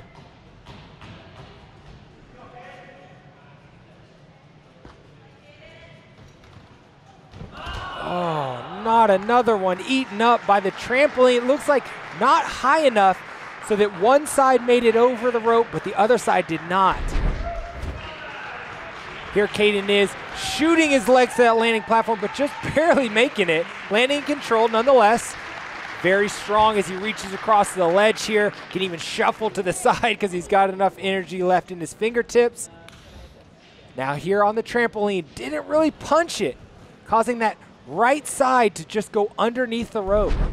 a clear of the Burly boards will secure him a second run with only Joe Moravsky behind him. The weatherman looking to bring the thunder and the lightning to this finals course. And getting the crowd involved at the same time. One of my favorite parts is catching up with Joe before this run. He is determined to show his training off. He's been training harder than he ever has, wanting to prove himself. I want to see him put that to use on this course. Joe Moravsky so strong and so fluid. He's been on many big stages, a lot of very difficult courses. Can he put it together on Ethan Swanson's Major 2 final? Now that hop there on pipeline looks like a simple move, but it's actually a very confident move to make. He actually decided, you know, a little hesitation there, but then going for it anyways. Ooh, almost catching it to Link. See how his legs whip forward? That's allowing his swing to generate forward, not having to stop himself and power up another move. Quick transition to the Cats. Looks like he's trying to find the right footing for the second transition. Oh! oh and no. Joe Moravsky slips off on that third and final cat grab. That's really frustrating. Oh man, he's already feeling it himself. He knows that's frustrating. Now this cat grab obstacle is not something we see often. The same motion he has here is he's pushing off with his foot off of the wall to turn around is ultimately the same move you make here, except for instead of a solid wall, it's a movable pad. If you notice right there too, his arm looks like it gets caught, not because he's tired, but it gets jammed up in there, forcing him to let go. Let's go down to Marley, who's standing by with Joe. A tough slip right there on the end of Cats. Yeah, you know what's interesting? I was a lot faster through the laches, and I had a ton of chalk left, and that didn't help. I didn't think twice, you know. Um, and I was respecting the obstacle just fine. I wasn't rushing. Uh, I just, I grabbed it, something missed. One of my hands slipped off, and you know, getting pulled around that obstacle, I just slid down it. I had too much chalk, I think. Because I just remember feeling that grit, and not in a good way, like the powder. And it kind of pulled it off, and I thought I could save it, but man, that's uh, that's really, really frustrating. But it's the sport. What are you gonna do? And you had said to me off camera that you really hoped there were no long laches on the course because they are not your favorite, but you went through them with such ease. Yeah, I mean, second time through, you kind of have a better game plan, and I felt really good. Man, that's so, so frustrating. It's a shame. It was a tough fall, but you still gave a great performance today. The only man to complete the course in the semifinals. Didn't do me too much right there. Didn't give me any help. I mean, you make mistakes on the course, so that's it. It's the nature of the sport. Yep. Next Well, time. Next time. Yep. Good attitude. Yeah. We'll see you next time. Sounds good. Sounds good. Thanks, Marley.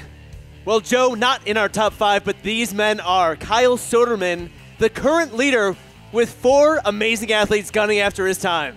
Now, these five athletes did not make the cut. Half of the Bash brothers, Hunter Guerard, as well as Joe Moravsky, who was in first place, dropping to 10th place. And coming up, the women's final run two, with Abby Clark in the lead and four athletes chasing after her, including Jesse Labreck and Barclay Stockett. We'll get it underway in just 30 seconds. I'm Brian Redard, And I'm Tori Clement. and this Is the Ultifit System.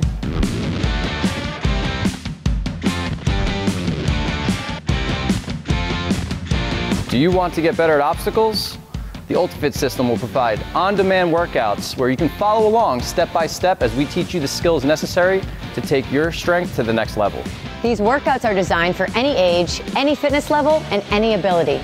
There'll be daily workouts designed uniquely by myself and other fitness professionals to help tax not only full body strength, but your cardiovascular system through high intensity interval training and many other skills on a daily basis. The Ultifit system creates new workouts weekly on demand to fit your schedule. With Ultifit, you get different variations of workouts, all for beginner level, intermediate, and advanced. Ultifit, the only system that brings the obstacle gym to you. Order yours today.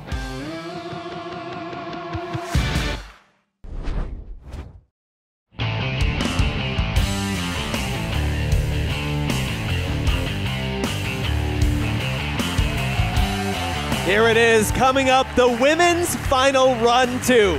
But first, Marley has an update on Isabella Wakeham, who suffered an ankle injury in run one on the loaded ropes.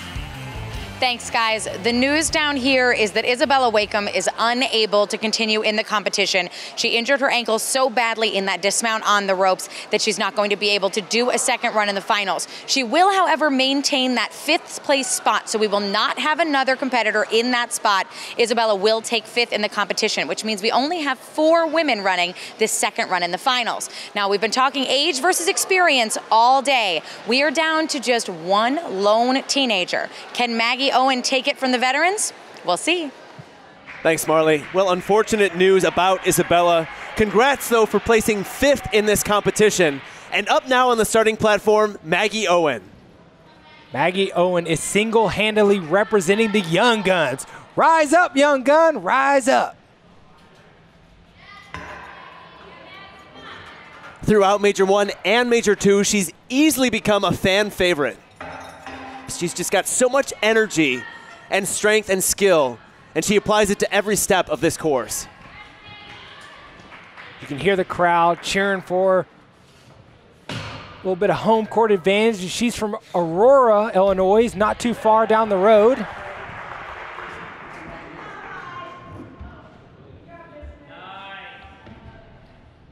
This is her third attempt on this course. So it does have two extra obstacles from our semi-qualifiers, but this is definitely something she's starting to get used to. So I want to see what she pieces together. There's something there. Just going a little bit quicker into our coming in hot obstacle. Ooh, makes me nervous every time when they hit that trampoline so far back. But she makes it to the landing platform. Now stretches her arms out a little bit before the loaded ropes. In run one, Maggie getting a little caught up trying to dismount this obstacle. Took her over a minute to complete the loaded ropes. Looking a little bit more smooth this time through. Really need to kick backwards here, not to the side at all. Good control. Oh, and just not quite enough to make that reach. And she's hung up a bit. She's a little low, but since she could kick a little bit, it allowed her to swing up a little higher. And a nice dismount. Crowd is loving it. I like the pace here. Maggie timed out at the end of stalactites, finishing that obstacle in her last run.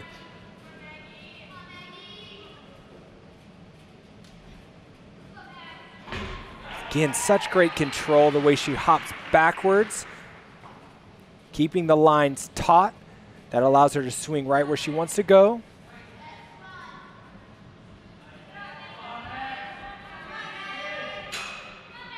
Ooh, is that enough? Not quite. Gets another shot at it. Oh, and misses a second time. She's got to get this hooked in, and she does. Now that's the thing that Maggie's been doing is even on the ropes earlier, she's able to build her swing from a dead hang swing on the rope or ring. It's worked out for her earlier on the ropes and yet again here on the rings. And easily makes that dismount to the landing platform. Now facing the stalactites again with a full minute on the clock. She's really set herself up well here, but actually just kind of going right by the chalk there. But her hands are not slipping either. Here's the bigger move. Wow, so much strength. Very fluid through the stalactites. Wow. She has set herself up great throughout the entire run to get here on the last obstacle with over 30 seconds still to go. So does Maggie Owen have enough in the tank to complete this course? Reaches up and grabs Yes. that ring. One move away from a Rise up, buzzer. young gun, rise up! Lines it up. Drops down, swings, and she's got it. Maggie Owen hits the buzzer in her second run. Awesome job, Maggie. Throughout the entirety of the course, she kept a high pace, but not too high where she was exhausted, able to make little corrections when necessary, great body control, also able to correct when she misses here, build up her swing with a little bit of kip on the bottom, trying to get enough height to hop that ring over, misses twice. Third time's a charm though for her as she swings up here, hopping it up and on. Great persistence out of young Maggie. It's got to feel great finishing this course in front of her home crowd. Let's go down to Marley, who's standing by with Maggie. Congratulations. Thank you so much. So you finished the semis, we add the two new obstacles, and you ran out of time in run one. What did you do differently this time? Faster. and also, I didn't get caught up on the ropes this time at the very end there. Did you approach the ropes differently? Um, well, I made sure I went faster in the beginning of the course, so I wasn't as like super out of breath just from taking like too many swings that were unnecessary. Um, and then I made sure to stay straight this time because that was definitely my problem last time. And we hear that the Superwoman is pretty scary when you're all the way up there. How did it feel swinging off to this tiny landing pad? I mean, it felt weird to swing and then have to go backwards to face it. Um, but once I was up there, it was kind of more fun than I was expecting, like to just swing down to it. Well, you came in fourth in our first major, but today might be your day. You're only our third woman to finish so far today, so we'll see how the times shake out. Congratulations. Thank you so much. Thanks, Marley. Up next is Barclay Stockett. Now, we've already had three finishers, so Barclay needs to finish this course if she's to podium. She has a great body awareness from her gymnastics background, but it's obvious to see her upper body strength. A lot of control when she starts to lock that in.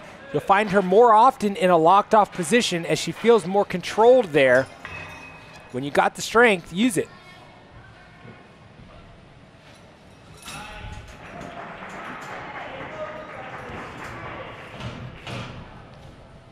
Little twisted up on that obstacle.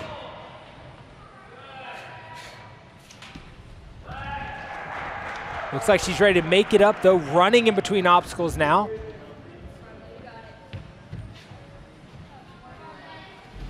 Whoa, I don't know how controlled that slide down there was, but not touching the ground, so she's still in. Again, running between the obstacles.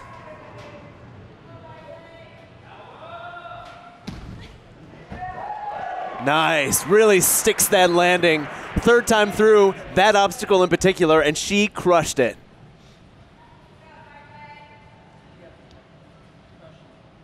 Barclay, a lot of focus, but she runs with urgency, which I really like. Nice. Perfect. Good control on the ropes, a little bit of an elliptical swing there. Maybe release a little early. Can she correct it to reach that final rope? Oh, Oh, and she no. doesn't. Gosh, just barely kicking forward and backward, causing a little bit of an elliptical swing. I know she probably felt out of her element here, though, as this move didn't go the way she thought. Kicking it, having to force it with her arms, but getting into the trampoline, feeling right at home, easily making that gap. Now, here on the loaded ropes, normally you want to pull directly backwards, having a little bit of a back kick, causing that front to back swing.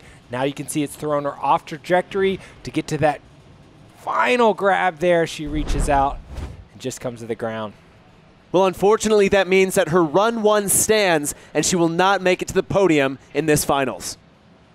And on the starting platform, getting hyped for her second run is hometown hero Jesse Labreck. Labreck actually completed the course in her first run, so now she just needs to do it and do it a little bit faster. Already grimacing a little bit. Now, is that just the, the nerves? Is that her exertion? Or is she tired? Now, as a big ninja, I make a lot of noise on the course. So sometimes when I just get to grunting, that just means I'm ready to put 100% effort out there. Doesn't mean I'm tired, just how I sound.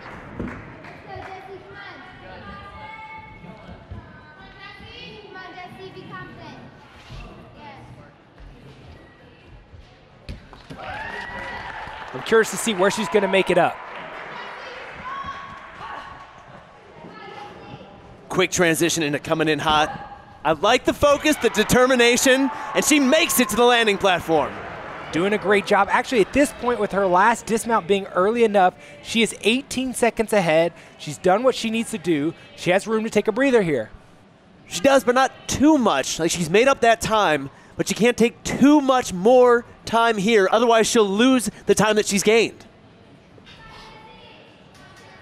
Yeah, it's a fine line between taking a breather and letting your arms rest, but also just keeping it moving. Looking nice and strong right now, reaching that last transition. One pullback. Little caught up right now. Yeah, she seems to be a little off, but she knows she's got to go. Oh, no. Shorting the dismount. And that secures it. Abby Clark takes the top spot at our UNX Major 2 final.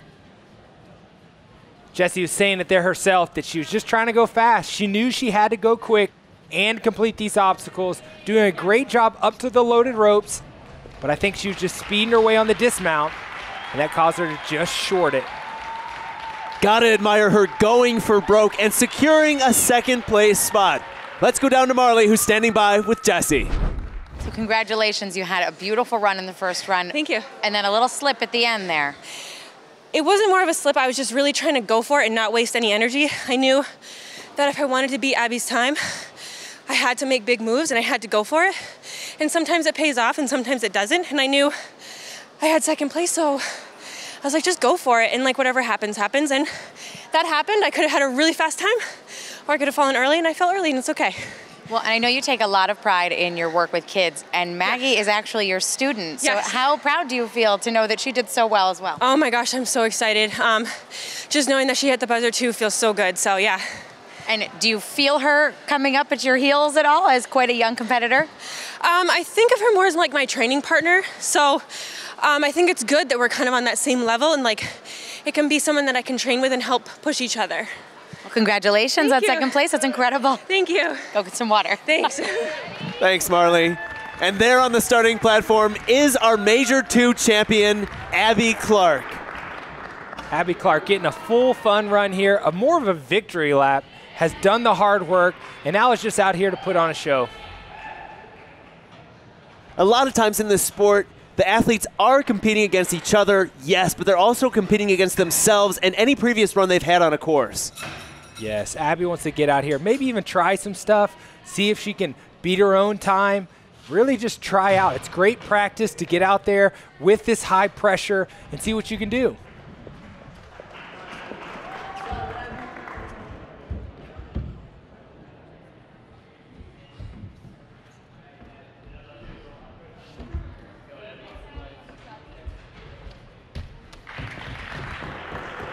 So far, a lot of the similar beta from her first run.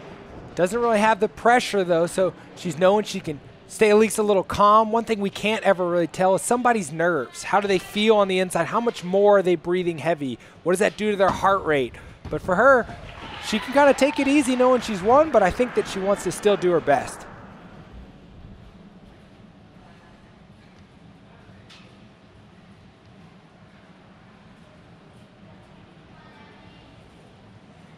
Abby with her first appearance in a major in this UNX Championship Series. And relatively new to the sport, it's got to be really exciting to come out on top ahead of a veteran like Jesse Labreck. I think something here that plays is definitely the fact that it's a family event here with her, her boyfriend, her dog even getting into the ninja mix. They have a lot of fun doing it. Her hard training is definitely play, paid off today.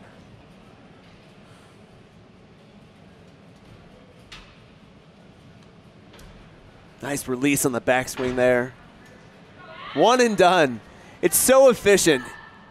And of course, the pressure is off. And that makes a huge difference when you're out here competing on the stage of this caliber. Yeah, confidence really plays when you're out on the course. Sometimes it just helps you to get that extra inch out of a jump or a reach. And when you're confident knowing you've already done well and you've done the obstacles before, it just really makes for a better course run.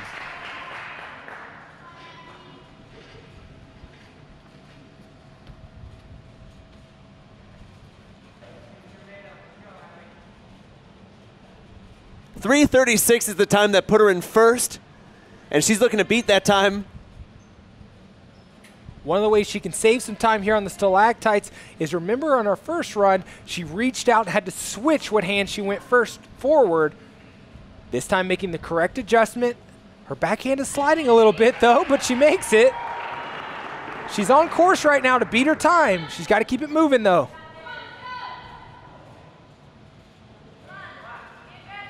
Thirty-six seconds left. What a reach. Nice full extension. She's looking so strong right now. And with that final release, she will make it to the buzzer 20 seconds ahead of her personal best. Wow, what a great run. Shaving out time and getting the victory without even having to do that run. Pressure off. She's done another great run with our fastest time in our women's final. Truly dominant every step of the way. Not going to be defeated by this course. Despite Ethan Swanson's best efforts, she will not be deterred. Abby Clark is our Major 2 champion in the women's division.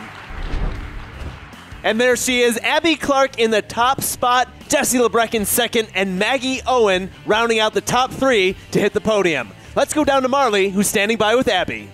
Congratulations, the winner of the UNX Major 2. Thank you. wow, it's crazy.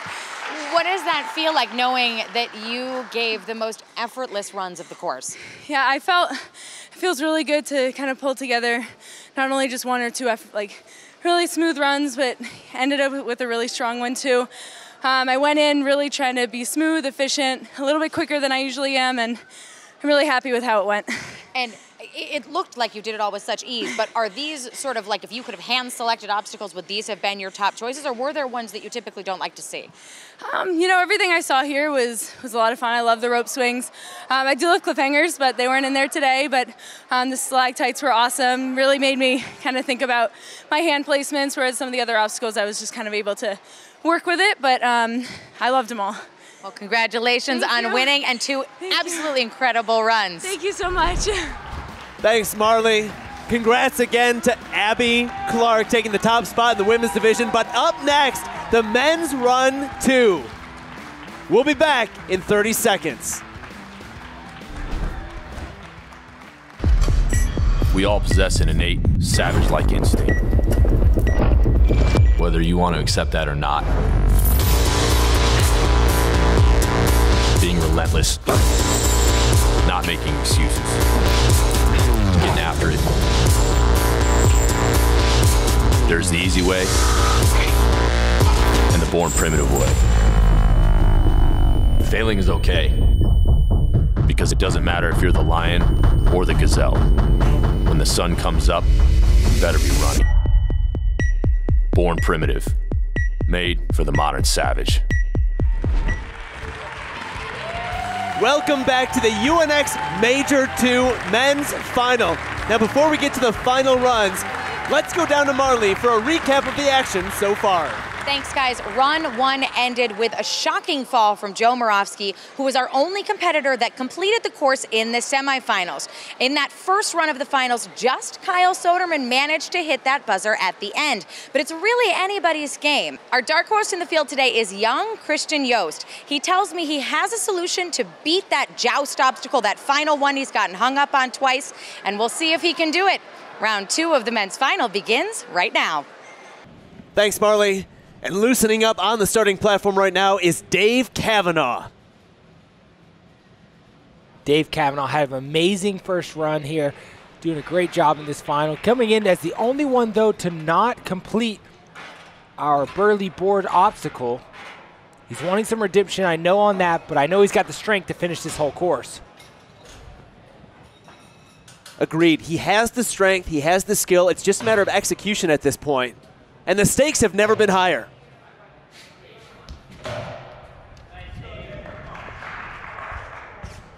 So in the men's course here, it is eight obstacles, a lower time limit. Wow, what a big hop there. Lower time limit of 330.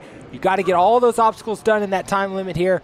And not much rest as he gets into our big old laches.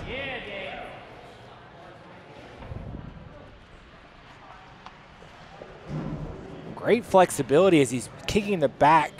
He's arching really big. That saves from needing to whip too hard because you have the flexibility. One minute.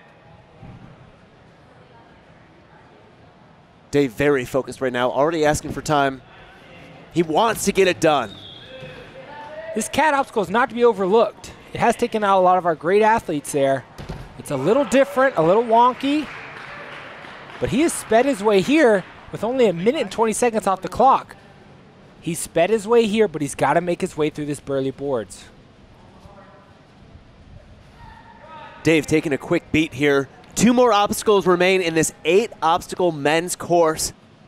We have a three minute and 30 second time limit, but the time to beat is Kyle Soderman's three minutes and 20 seconds.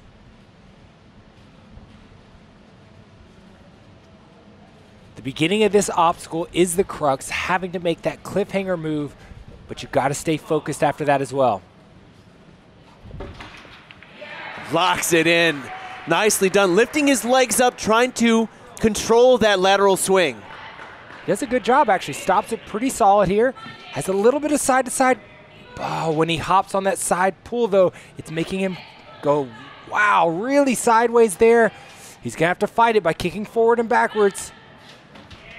And he grits his way through it, though, even with the side swing. Wow, that's the tough move right there. And still having enough strength to grind his way, pulling up to the top. Man, that bar up top must feel like a rest, even though he's tired. Dave Kavanaugh just one reach, one rope, and swing away from completing the obstacle that has defeated him in this finals, and he's wow, got it. It's got to feel like great redemption for him. Now, Dave is the only one who has not attempted this joust yet. So this is new territory for him. He's got 30 seconds left on the clock, but he really needs to hit this trampoline hard. lifts and not enough height on one side. He can't seem to lock in that bar, hands it off to Chris DeGangi. But still an impressive run out of Dave Kavanaugh. Coming out of pipeline here, taking a big leap, but seems very comfortable doing so. On the Burly board, making it through that crux of that ledge grab. And on the joust, not able to get that left hand side up high enough. Let's go down to Marley, who's with Dave. A solid run. Your first time making it to the joust. Oh, thank God. oh, thank God. Those burly boards have, have been your arch nemesis all day long. How did you change your approach this round? You know, first two times I just could not figure out how to stop getting squirrely. You know, I think I was just rushing it, trying to get by it. I said to myself, I'm just going to hang here. I'm just going to hang and wait it out. And it worked. Barely, but it worked. And then you get to the joust, that beast that's been taking everybody out yeah. of all day long. Had you ever seen an obstacle like that? Uh, I do a lot of similar obstacles like that with my flying bar at home. Uh, I think I just uh, was so concentrated on the boards that I forgot to overcompensate for that pull of the bicep, and I think I just reeled down a little too hard. Well, it was still a solid performance today. Made it into the finals. Congratulations. thank you. Thank you. Thanks, Marley. Well, a moral victory for Dave Kavanaugh, but that will not change his placement. He'll finish in fifth. But up next, Donovan Metoyer. Donovan doing a great job in his first run, getting it all the way into our joust obstacle. Whoa! What a big way to, to finally someone who has thrown really short on that obstacle so that he could link it. It's a scary move to make, but this is the time to leave it all on the line. Kyle Soderman's time of 320 is still the time to beat. As he's hopping off of that pipeline obstacle with 30 some seconds off the clock, he's doing a great job. Donovan Metoyer looking loose, looking limber, and strong as usual. Oh! And the dismount, he landed on his backside. Didn't even get his legs out in front of him. What what happened there?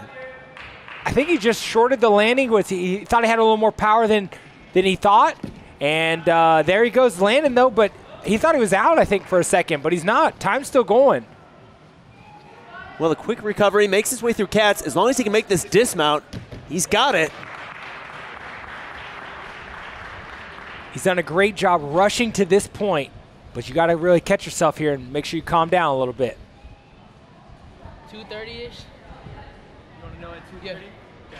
Oh, where am I at now? You're at 125. So a quick conversation with Chris DeGangi on where the clock is at. It sounds like 2:30 is the point of no return where he wants to be heading to the Burly boards. Yeah, I'm not sure if he wants to be on the Burly boards at 2:30 or finishing them at that time, but he's got 2:30 in his mind, and he seems to be ahead of pace.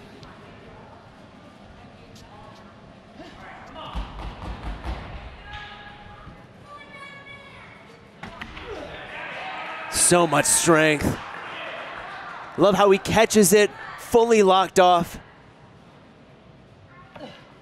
Again, important to kill that side-to-side swing.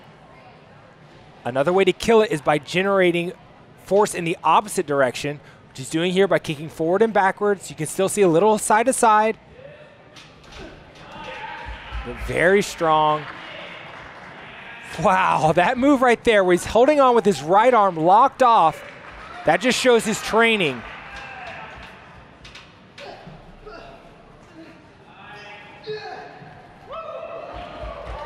Finishing that obstacle with a rollout on the landing platform. Now staring down the barrel of the joust. Again, the time to beat is 320. Donovan decided to bail on the headphones, focus up, one obstacle between him and that buzzer, just the joust.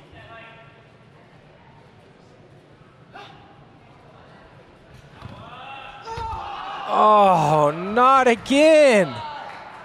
That one side was just below the rope.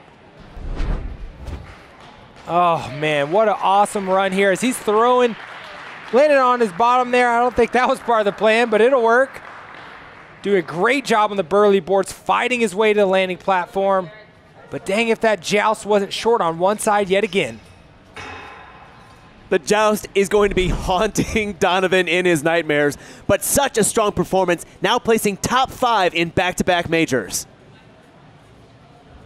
And up next, Caden Lebsack. Caden had a rough qualifying trying to get here. In New Jersey, missed qualifying by one spot, tried again in Austin and missed again. Third time was a charm, making it in Salt Lake City. But now he finds himself here in the finals. That is dedication. And he's going to need that relentlessness in order to beat Kyle. That's a common misconception about athletes on these courses is that they don't make mistakes. It's actually very common to slip up on an obstacle or have a bad day. Caden showing his determination throughout three different qualifiers to get here. But now he's going to have to really keep this pace up if he wants to beat the 320 time set by Kyle.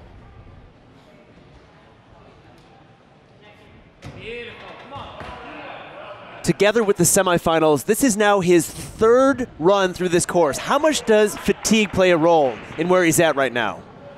Knowing his strength and endurance, I don't think that he's necessarily tired.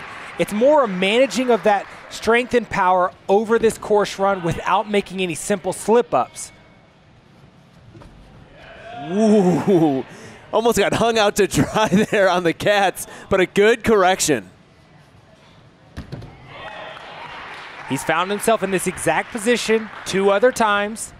He can make it through the Burly boards, but you can't overlook them.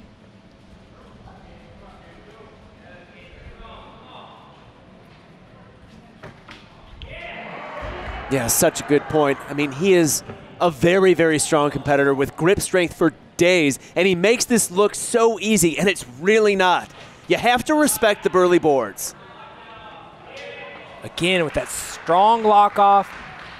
Now, this, even though he's done those twice already, it feels different when you're moving at the pace he is, finishing this with still a minute and 30 seconds left on the clock.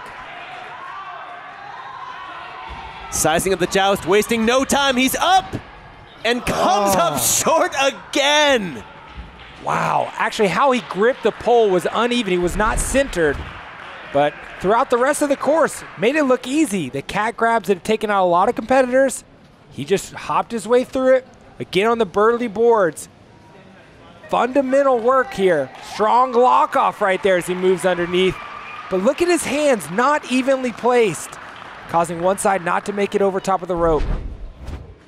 An incredible run by Caden, placing him firmly in second place. But the man he bumped is getting up to the podium right now. It's Christian Yost.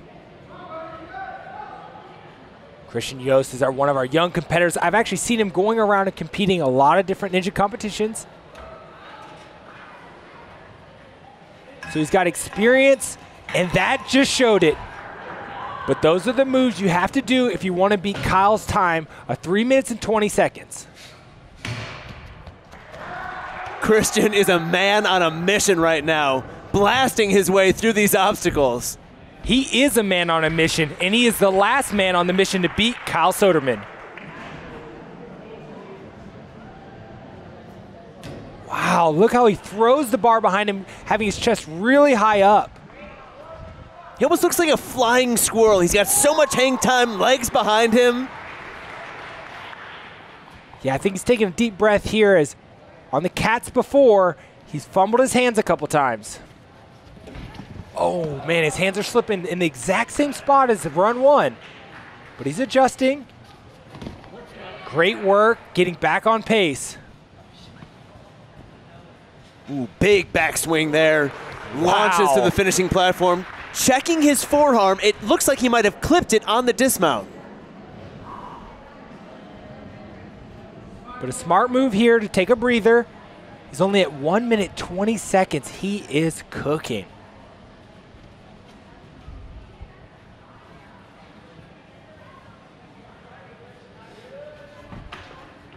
Wow. Stopping his swing. What control. He raised the knee up to stop his side to side swing. I've seen him do this obstacle, and every time it seems like he's busting out a different technique or move. He is putting a clinic on on these burly boards.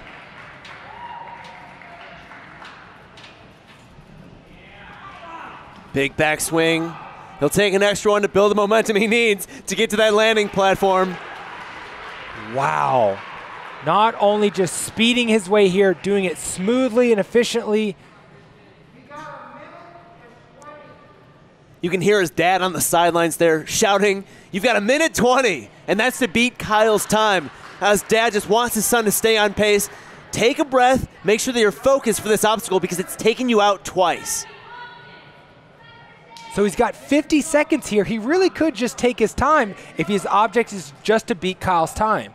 But keep in mind, Kyle gets another run after this one, so time is of the essence. And here it is. It all comes down to this. Hit the trampoline strong. Oh no, the right side was just short yet again. A phenomenal effort out of Christian, but that'll lock in the win for Kyle. Christian has got to be excited with that run, though. Doing a great job, especially recovering here on the Cats, making quick work of this crazy dismount, putting a clinic on on the Burly boards. But again, the joust just cutting his run short. Big smile on Christian's face. Phenomenal performance out of this young athlete, and we're going to see a lot more for him to come in the championship series. But there is our UNX Major 2 champion, Kyle Soderman. Knowing Kyle, he'll probably want to put a fun run on or a victory lap out here, show off some stylish moves, I bet, or just see if he can beat his own time. This has to be a good feeling for him. With the early exit that he had in Major 1, he had something to prove, and he did just that. Oh, yeah, coming back, taking first, and now the Stoke meter is full on. Oh, yeah. Come on, Kyle. With all the pressure off, this one just here is for the boys. Full send.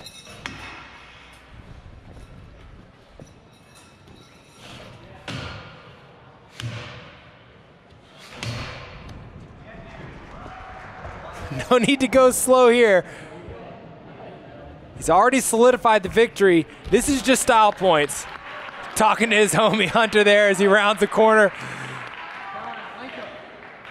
I, I can hear the crowd yelling out, link 'em. They want to see these connected laches here.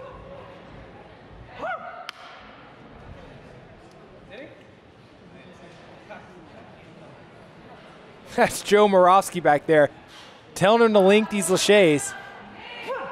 Oh! What? What? Sodi getting crazy out here with the flyaway. and Chris DeGangi Wow. escorting him off the course. He doesn't need to see any more of the shenanigans. You won. You're on the top spot in the podium. Look at that flyaway regrab. On a nine foot lache, he gets it with one hand and barely misses by his fingertips. All for the crowd. And there are your top five. Kyle Soderman in first place, Caden Lebsack in second, and Christian Yost rounding out your top three. Let's go down to Marley, who's standing by with Kyle. Congratulations. Yeah, thank you. I, mean, it's kind of a started from the bottom now here kind of thing, you know? You are, I mean, you are the epitome of started from the bottom. Last place at the first major, small mistake kept you in the bottom. Yep. And today, out on top with a super fast time. Yeah, no, I love it. I mean, just, I guess, don't miss the rings. That's the rule I like to stick by. It seems like a good rule. Don't miss the rings. Exactly. So, how excited are you to have won the second UNX major? I am super pumped. I mean, like, you can't do much better, so I'm, I'm just totally psyched right now. I can't believe it, but obviously I came out here to win, so that's what happened. and should we plan to see you again at the third major? Oh, 100%. I'll be there no matter what. Are we going to perform like today or like last time? Oh, I mean, I hope like today. We'll see, I guess. I hope so too, right? Nature of the sport. Congratulations. Very exciting. A perfect run. Thank you so much. Thanks, Marley. A great day of action here at Ultimate Ninjas Naperville. Congrats again to Abby Clark and Kyle Soderman, our women's and men's champions here at UNX Major 2. On behalf of Marley Caden and Grant McCartney, the Island Ninja, I'm Evan Dollard, and we'll see you at Major 3.